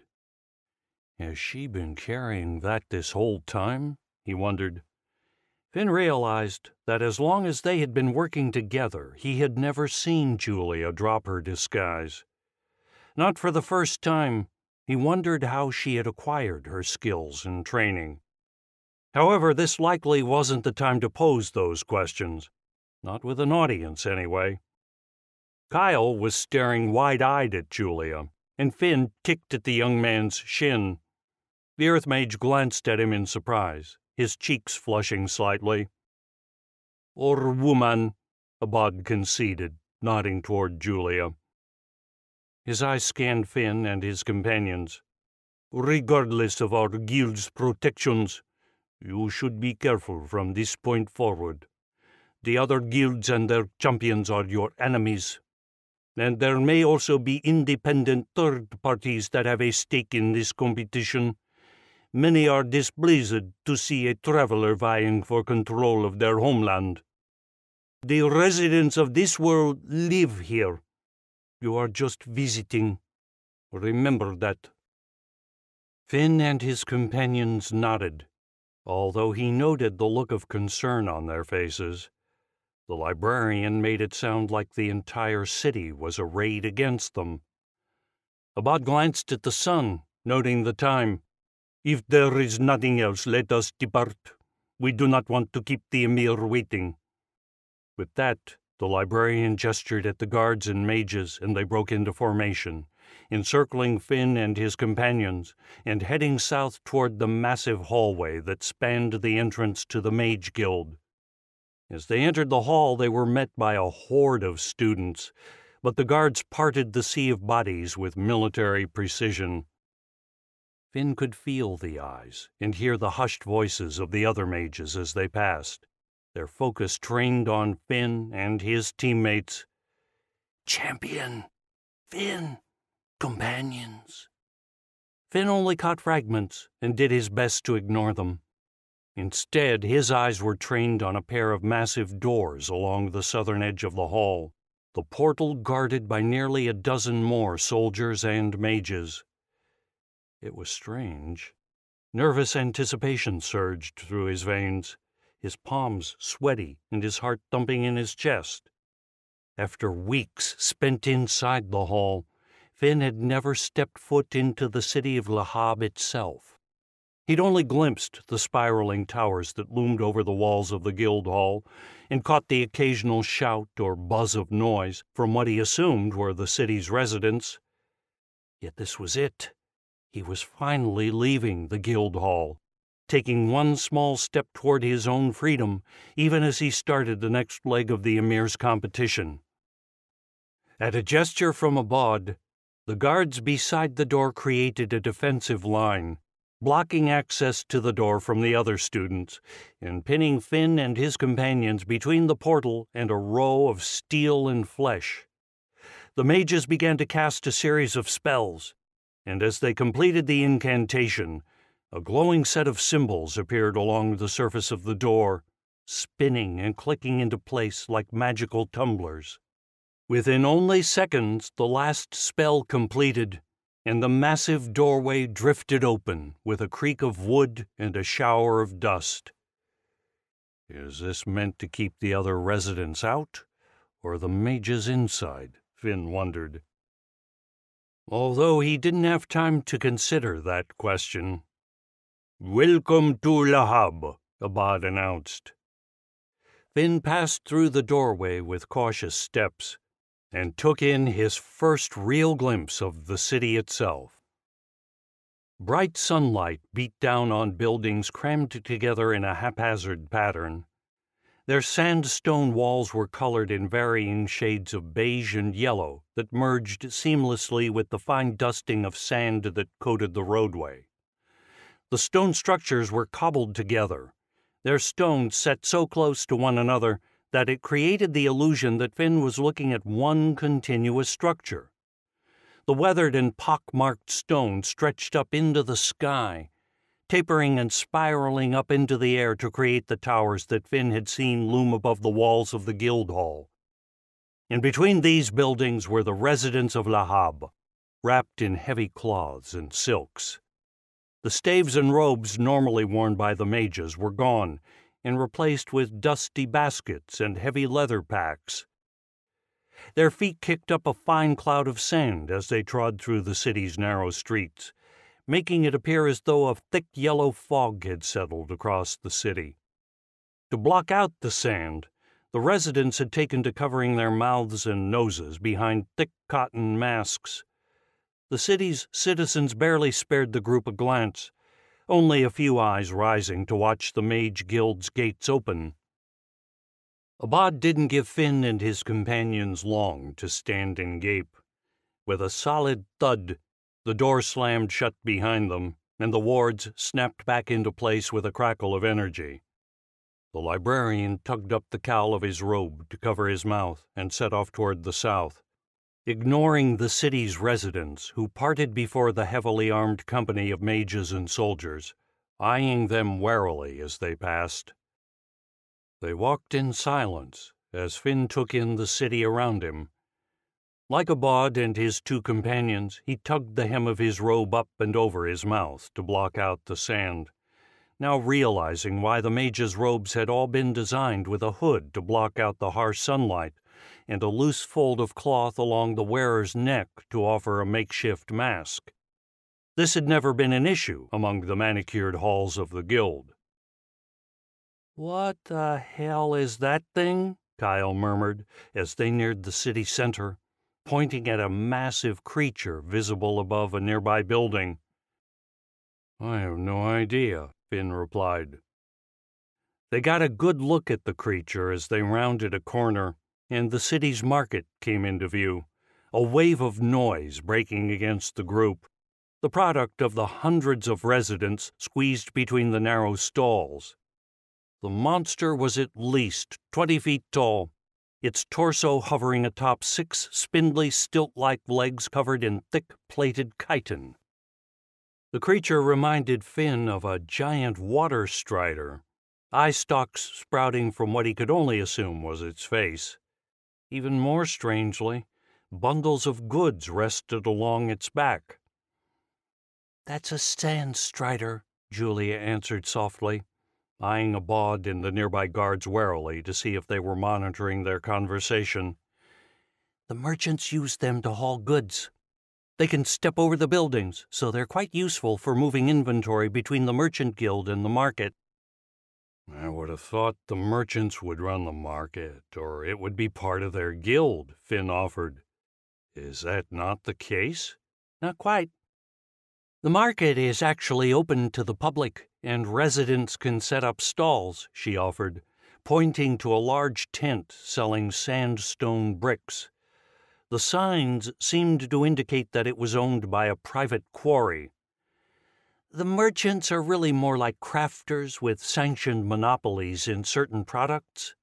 They sell most of the useful equipment and weapons, and the rest of the residents tend to deal in more practical, day to day items. Fun fact it's actually illegal for anyone else to sell weapons and armor, she explained. Which would make black market goods that much more valuable, wouldn't it? Kyle observed with a raised eyebrow. This earned him a grin from Julia. Not that I would know anything about that, she offered with a wave of her hand. Anyway, the merchant stalls are easy to identify since they're all marked with their emblem. She gestured further along the row. Finn could indeed see that the Strider was lingering beside a row of stalls all emblazoned with the same logo a green hammer and anvil. The city itself is roughly circular, broken up into four sections like the spokes of a wheel. The Merchant Guild is located to the west, and the Fighter Guild is to the east, with the Mage Guild occupying the northern edge. The palace is located along the southern wall, she explained. Finn glanced at his daughter, his brow furrowed in thought. You seem really familiar with Lahab. Did you spend a lot of time here during the beta? he asked, keeping his voice low. Julia grimaced, and her eyes were distant as she replied, I guess you could say that. Although I didn't spend most of my time in the city. Then where did you? Kyle began to ask. A commotion suddenly interrupted their conversation, a shout rising across the crowd. The group turned to the source of the noise. A resident was shouting at one of the merchants, the man inspecting his stall. You Akdir can't close my stall. You lack the proper resale certification for this equipment, the merchant replied calmly. The green liveried guards around him reached for their weapons as they created a defensive circle around their leader and eyed the other residents in the market. We will have to take your inventory into custody. Finn inspected the other residents carefully. The surrounding crowd grew more dense with each passing second, their eyes angry. The silence was unnerving. They were as quiet as death watching the scene play out with a tension that was almost palpable. After having participated in hundreds of duels, Finn could detect an undercurrent of violence ripple through these people, and he had to resist the urge to summon his own blades. I sell only packs and travel equipment, the man pleaded. Those aren't on the list of restricted goods. They are now, the merchant replied coolly. The list was updated yesterday and posted at our guild hall by order of the Emir. The man's eyes widened, and Finn heard a soft murmur ripple through the crowd at this announcement. Please, I didn't see the notice. Please, at least let me sell these goods so that I can buy new inventory. You know the law, the merchant snapped, waving his guards forward. Restricted goods are confiscated for the guild. Remove yourself from the stall. The man ignored the order and instead sunk to his knees, tears streaming down his face. Please, we have nothing else. Think of my family. As the guards neared, one shoved the man to the side, his head hitting the edge of a nearby beam. Blood soon dripped from his scalp as he cradled his head and groaned in pain. The crowd reacted then, surging forward, their murmurs rising into a deadly hum. The merchant and his guards seemed to realize this, pulling their weapons with a scrape of steel. You lot, stay back. This is guild business. Anyone who intervenes will be cut down where they stand. This isn't the time for this, Abad said softly eyeing the crowd that now pressed in around them and locked them in place. Damn it, he muttered, one of the rare times Finn had heard the librarian cuss. At a gesture from Abad, the mages and soldiers encircling them surged forward to reinforce the merchants. At the sight of the Mage Guild troops, the residents seemed to draw back slightly, looking on with sullen, glaring eyes. Abad received a nod from the merchant, but didn't return the gesture. Greed will be the death of that guild, Abad muttered. Give me just a moment. I may be able to defuse this situation, and we can be on our way, he offered to the group before heading toward the merchant. Finn's hand hovered above one of his blades, and he turned to watch the townsfolk that immediately moved to fill the gap as the mage guards moved away. He accidentally bumped into an elderly man standing nearby, throwing him off balance. He immediately grabbed for the man's arm, holding him steady and giving him a chance to regain his feet. I'm sorry, I didn't see you there, Finn offered. The older man clutched at his arm. It's fine. He cut off sharply as he saw the marks along Finn's right arm, his robe pulling away from his wrist. Finn abruptly shoved the cloth back down to cover the seer's mark. Najmat al-Hidad, the old man murmured, his eyes going round as he stared at Finn. At his words, others in the crowd looked at Finn in surprise, and a whisper rippled through the residents like a wave. He saw more heads swivel to stare at them. What does that mean? Finn asked the man in confusion, suddenly wary of how many people lingered around them and the sudden lack of guards. Abad's warning was still fresh in his mind. He will come in a blaze of flame and fire, and purify the corruption that plagues the sands, the old man replied quietly, clutching at Finn's arm with a surprising strength. He is the Najmat al-Hidad! Julia abruptly stepped forward and ripped Finn free. Back away now, she hissed at the older man, a blade suddenly in hand and pointed at his neck. The old man was unperturbed by the dagger. His eyes remained locked on Finn, and he murmured that strange phrase over and over again. Uh, I don't like this, Kyle said, eyeing the crowd nervously as it pushed in closer, the residents attempting to get a good look at Finn. Mobs and mysterious chanting are never a good combination. Back down that alley slowly, Julia directed, pointing at a space between two nearby buildings and placing herself between the crowd and her companions. They both followed her instructions, stepping away slowly. Meanwhile, the crowd surged toward them, the murmurs rising. Finn heard those words repeated again and again.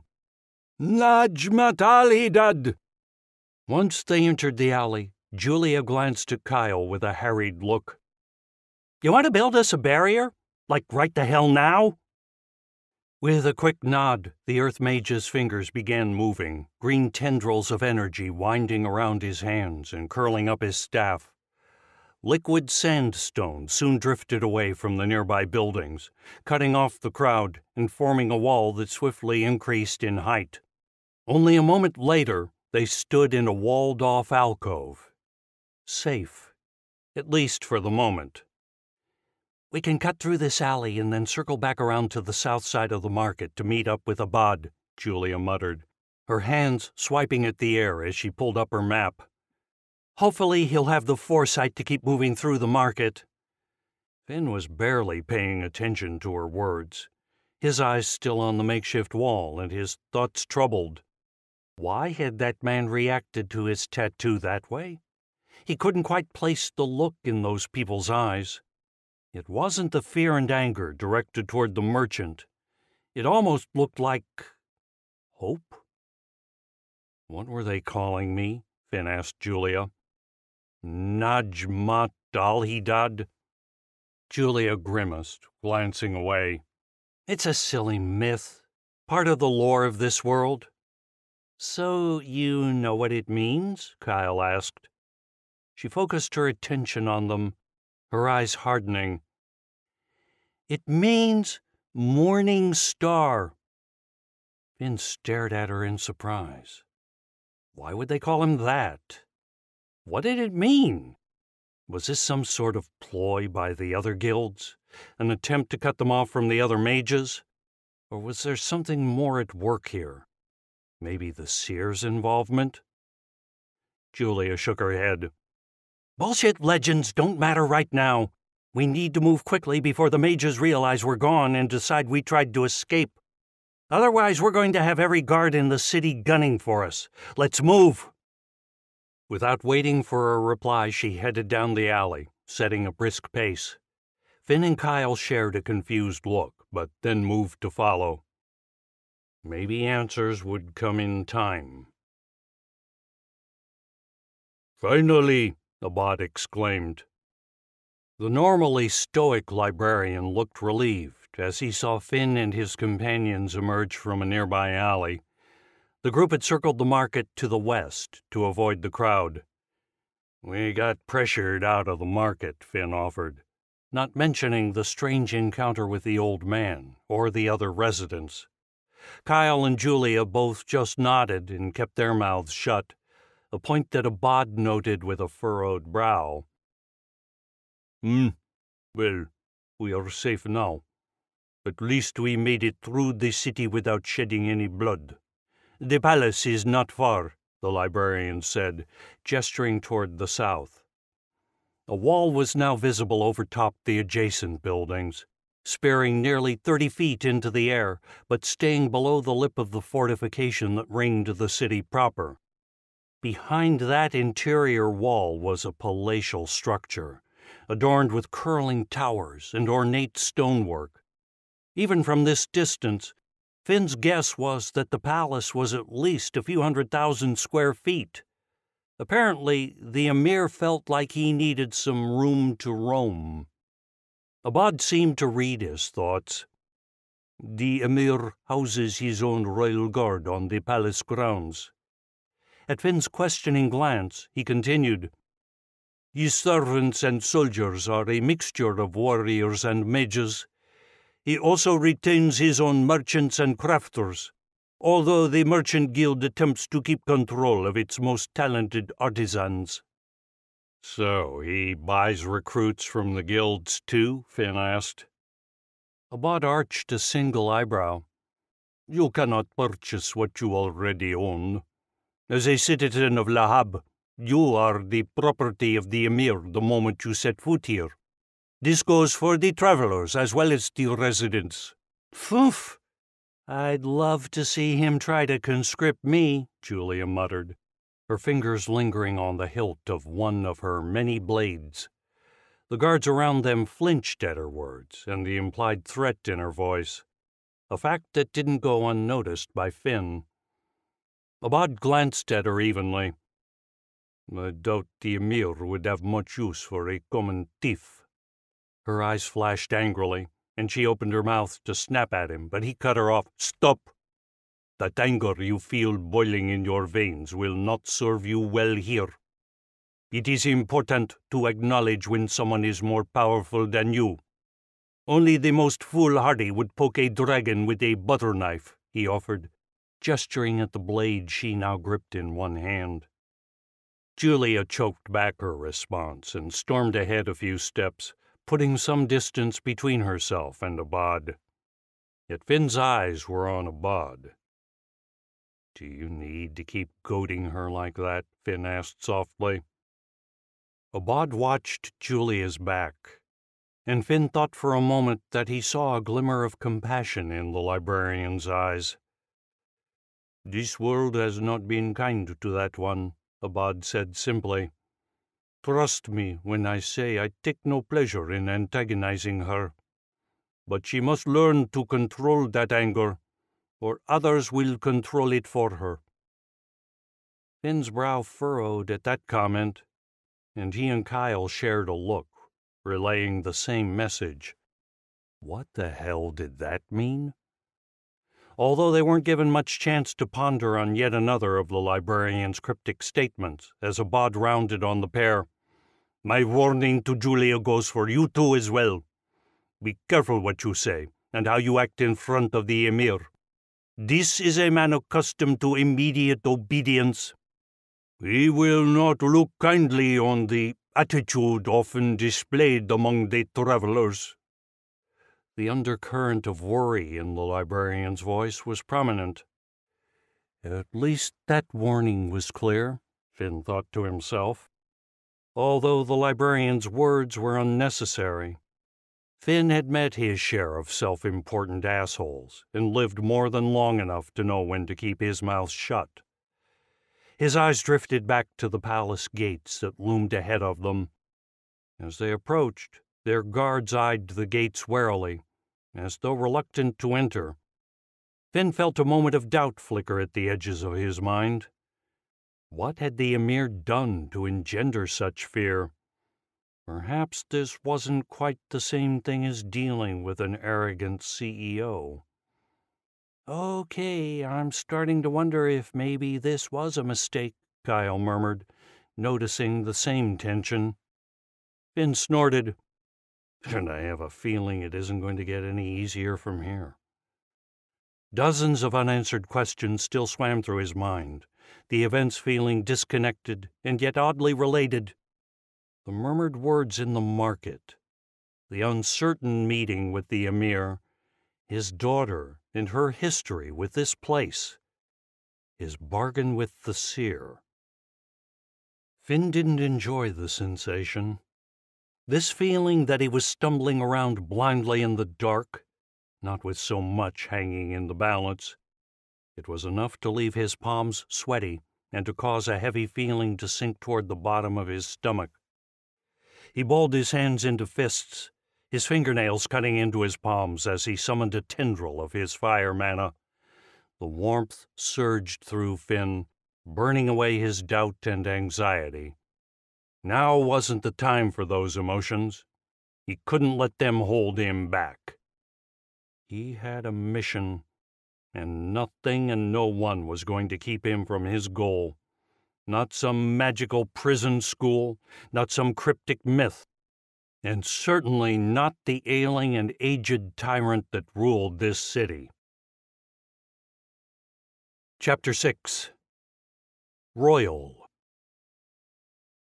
After the palace gates opened, the group was immediately encircled by a full division of purple liveried royal guards. The Mage Guild's forces were politely but firmly asked to remain beside the gate, although they looked more relieved than offended at the request.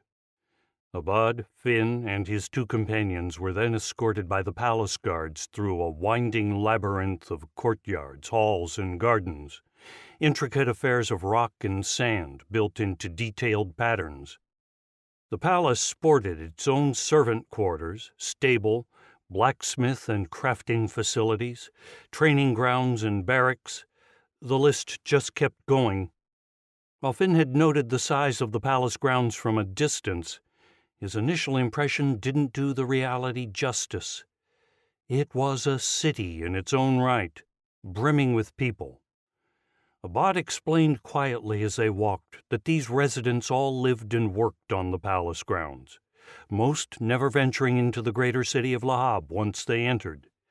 In fact, entire families had been born and died on the grounds without ever setting foot outside. Although that begged the question of why the emir felt the need to maintain this separate foothold within his own city. Paranoia, a voice whispered in the back of his mind.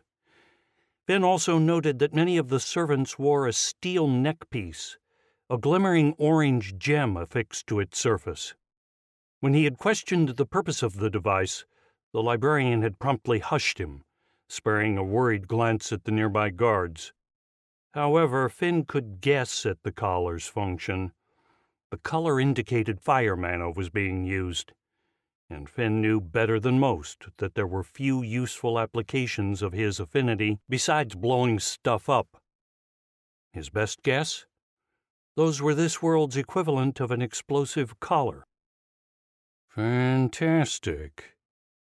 Finn was beginning to understand why the residents seemed so nervous about approaching the palace gates. His initial guess was starting to look more likely. What sort of man felt the need to ensure his staff's loyalty by strapping explosives to their neck? He shared a look with Julia and Kyle. I guess we'll get to find out. Nearly half an hour later, the group was finally deposited at the entrance to a small garden along the fringe of the grounds, a manservant waving at the entrance and then bowing away without a word. Finn could only assume that their gracious host was waiting inside. The enclosure was obscured by a series of thick fir trees, the first vegetation that Finn had seen since he had entered this world. Even if he hadn't witnessed the size and majesty of the palace, these few plants would have tipped him off to the scope of the Emir's power. How many water mages would it take to keep these alive? Kyle murmured, touching some of the bristles with gentle fingers. Finn glanced at Julia, expecting a snarky comment.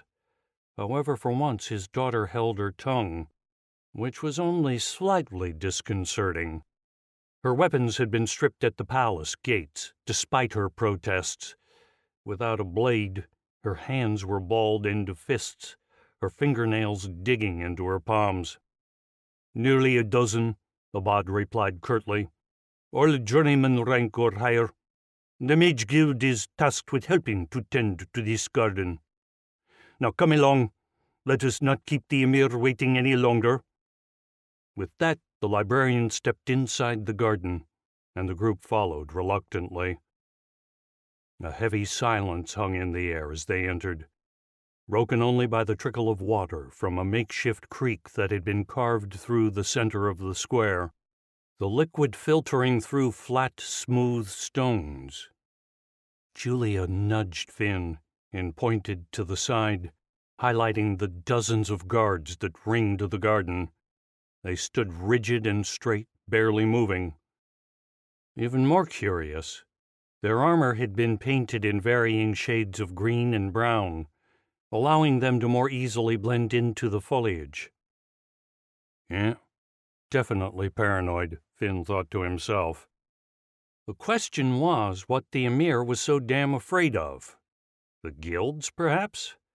But would they really be foolish enough to move against him? That didn't feel quite right. Finn's eyes turned to the far end of the garden.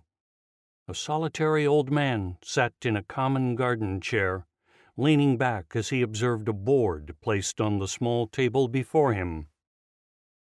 My Emir, Abad said in greeting as they approached, sweeping into a bow. Finn and the others followed the librarian's lead, attempting the same courtly bow, only less gracefully. For her part, Julia barely dipped her neck and shoulders. The Emir turned to face them, and Finn was taken aback by the cordial smile of a friendly old man, his eyes glowing with good humor. The lines of his face pulled taut as he smiled, making him look much younger than his gnarled skin would suggest. Finn wasn't certain what he had been expecting, but it hadn't been the open friendliness he saw on this man's face. Ah, Abad, it's good to see you again, the Emir said, as the librarian neared and grasped the regent's tendered hand gently. I'd rise, but my legs seem to be unruly this morning, he added ruefully, motioning at a staff that leaned against his chair. Finn had missed the staff at first, and was forced to do a double take as he looked at the instrument. The staff was extraordinary, apparently having been built more for aesthetics than practicality. It was made entirely of gold, intricate runes riddling the surface, and crystals were embedded in the soft metal. Interestingly, Finn observed that the staff's centerpiece was missing, no crystal or gem adorning the top of the weapon. It is always a pleasure, my emir, Abad answered, dipping his head. The older man's eyes shifted to the group behind the librarian as he released Abad's hand, examining each of them carefully. And this must be the Mage Guild's champion and his companions. An interesting lot. Much more eclectic than what the merchants and fighters sent to me. The old man's attention hovered on Finn. I take it that you're Finn? Yes, Emir, Finn answered, bowing his head slightly in imitation of a Abad. So courteous for a traveler, the Emir observed, a hint of amusement coloring his voice. My encounters with your kind have led me to believe that your own world must be a dour and aggressive place, at least if their often crass behavior is any indication. Kyle let out a soft snort of amusement. I can't speak for the other travelers, of course, Finn replied calmly, unperturbed by the regent's tone. All I can say is that the few are not representative of the many. The Emir watched him for a heartbeat as their eyes met, and Finn felt like he detected an appreciative understanding there. Indeed, he murmured. Well, then let us prove that you're not all entitled beasts. Why don't you play a match with me? the Emir said, waving at the board before him. The soldier stepped forward from a nearby hedge, pulling out a chair opposite the old man, while the regent waited expectantly. When Finn hesitated, Abad urged him forward, motioning to the chair. Apparently, this wasn't a request. Finn glanced at the group before slowly taking a seat opposite the regent. As he sat down, the emir let out a hacking cough, another guard materializing with a handkerchief, which the regent took gratefully. Even after the fit passed, it left the emir wheezing, his face pale, and a few droplets of blood now stained the fabric. My apologies, the emir croaked at Finn. Unfortunately, the rumors of my ailing health are rather accurate. Which I suppose is the reason for this visit, he said, a twinkle in his eye as he met Finn's gaze. I know firsthand the burdens of age, Finn replied slowly. I have found it to be a slow and painful erosion toward the finish line. A small smile tugged at his lips. I often wonder if it would be easier to die in battle a quick strike, and then it's over. In some ways, that seems a mercy compared to the purgatory of age. The Emir's eyes gleamed as he looked back at Finn.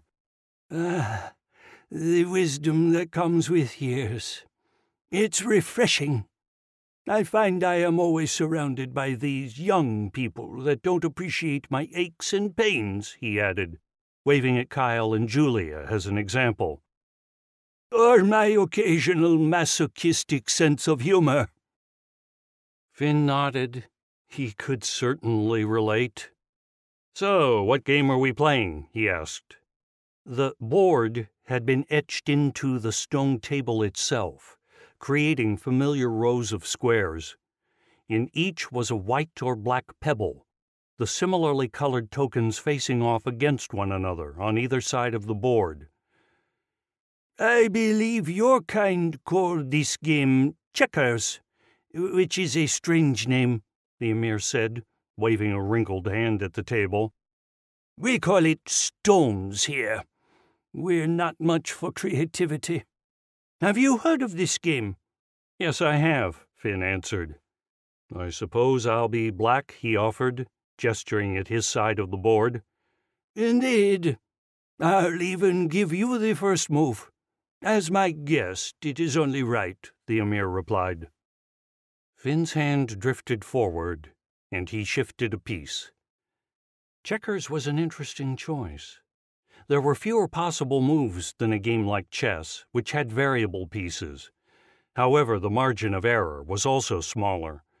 Finn had done some computational programming assignments back in the day using these types of board games, so he knew that the optimal game of checkers played to a draw. In short, a single mistake could result in a loss. The Emir made a move.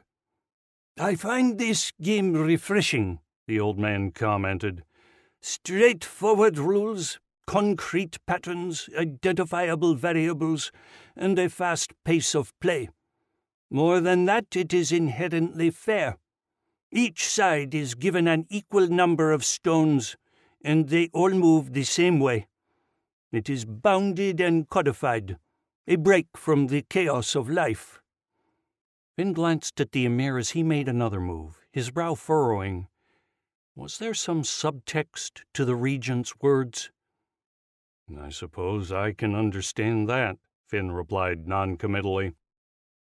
A reserved and polite reply, the Emir said with a snort of amusement.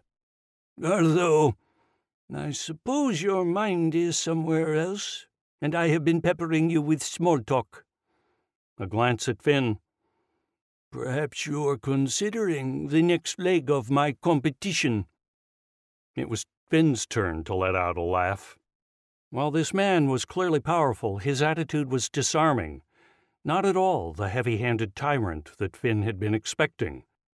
Well, yes, I'll admit I am just a bit curious. The Emir nodded, a smile gracing his lips as he took one of Finn's stones. As I am certain Abad told you, this next event is a group activity, and you will be permitted to bring companions. Yes, Abad's instructions were quite clear, Finn offered as he made another move and one of the Emir's stones was removed from the board.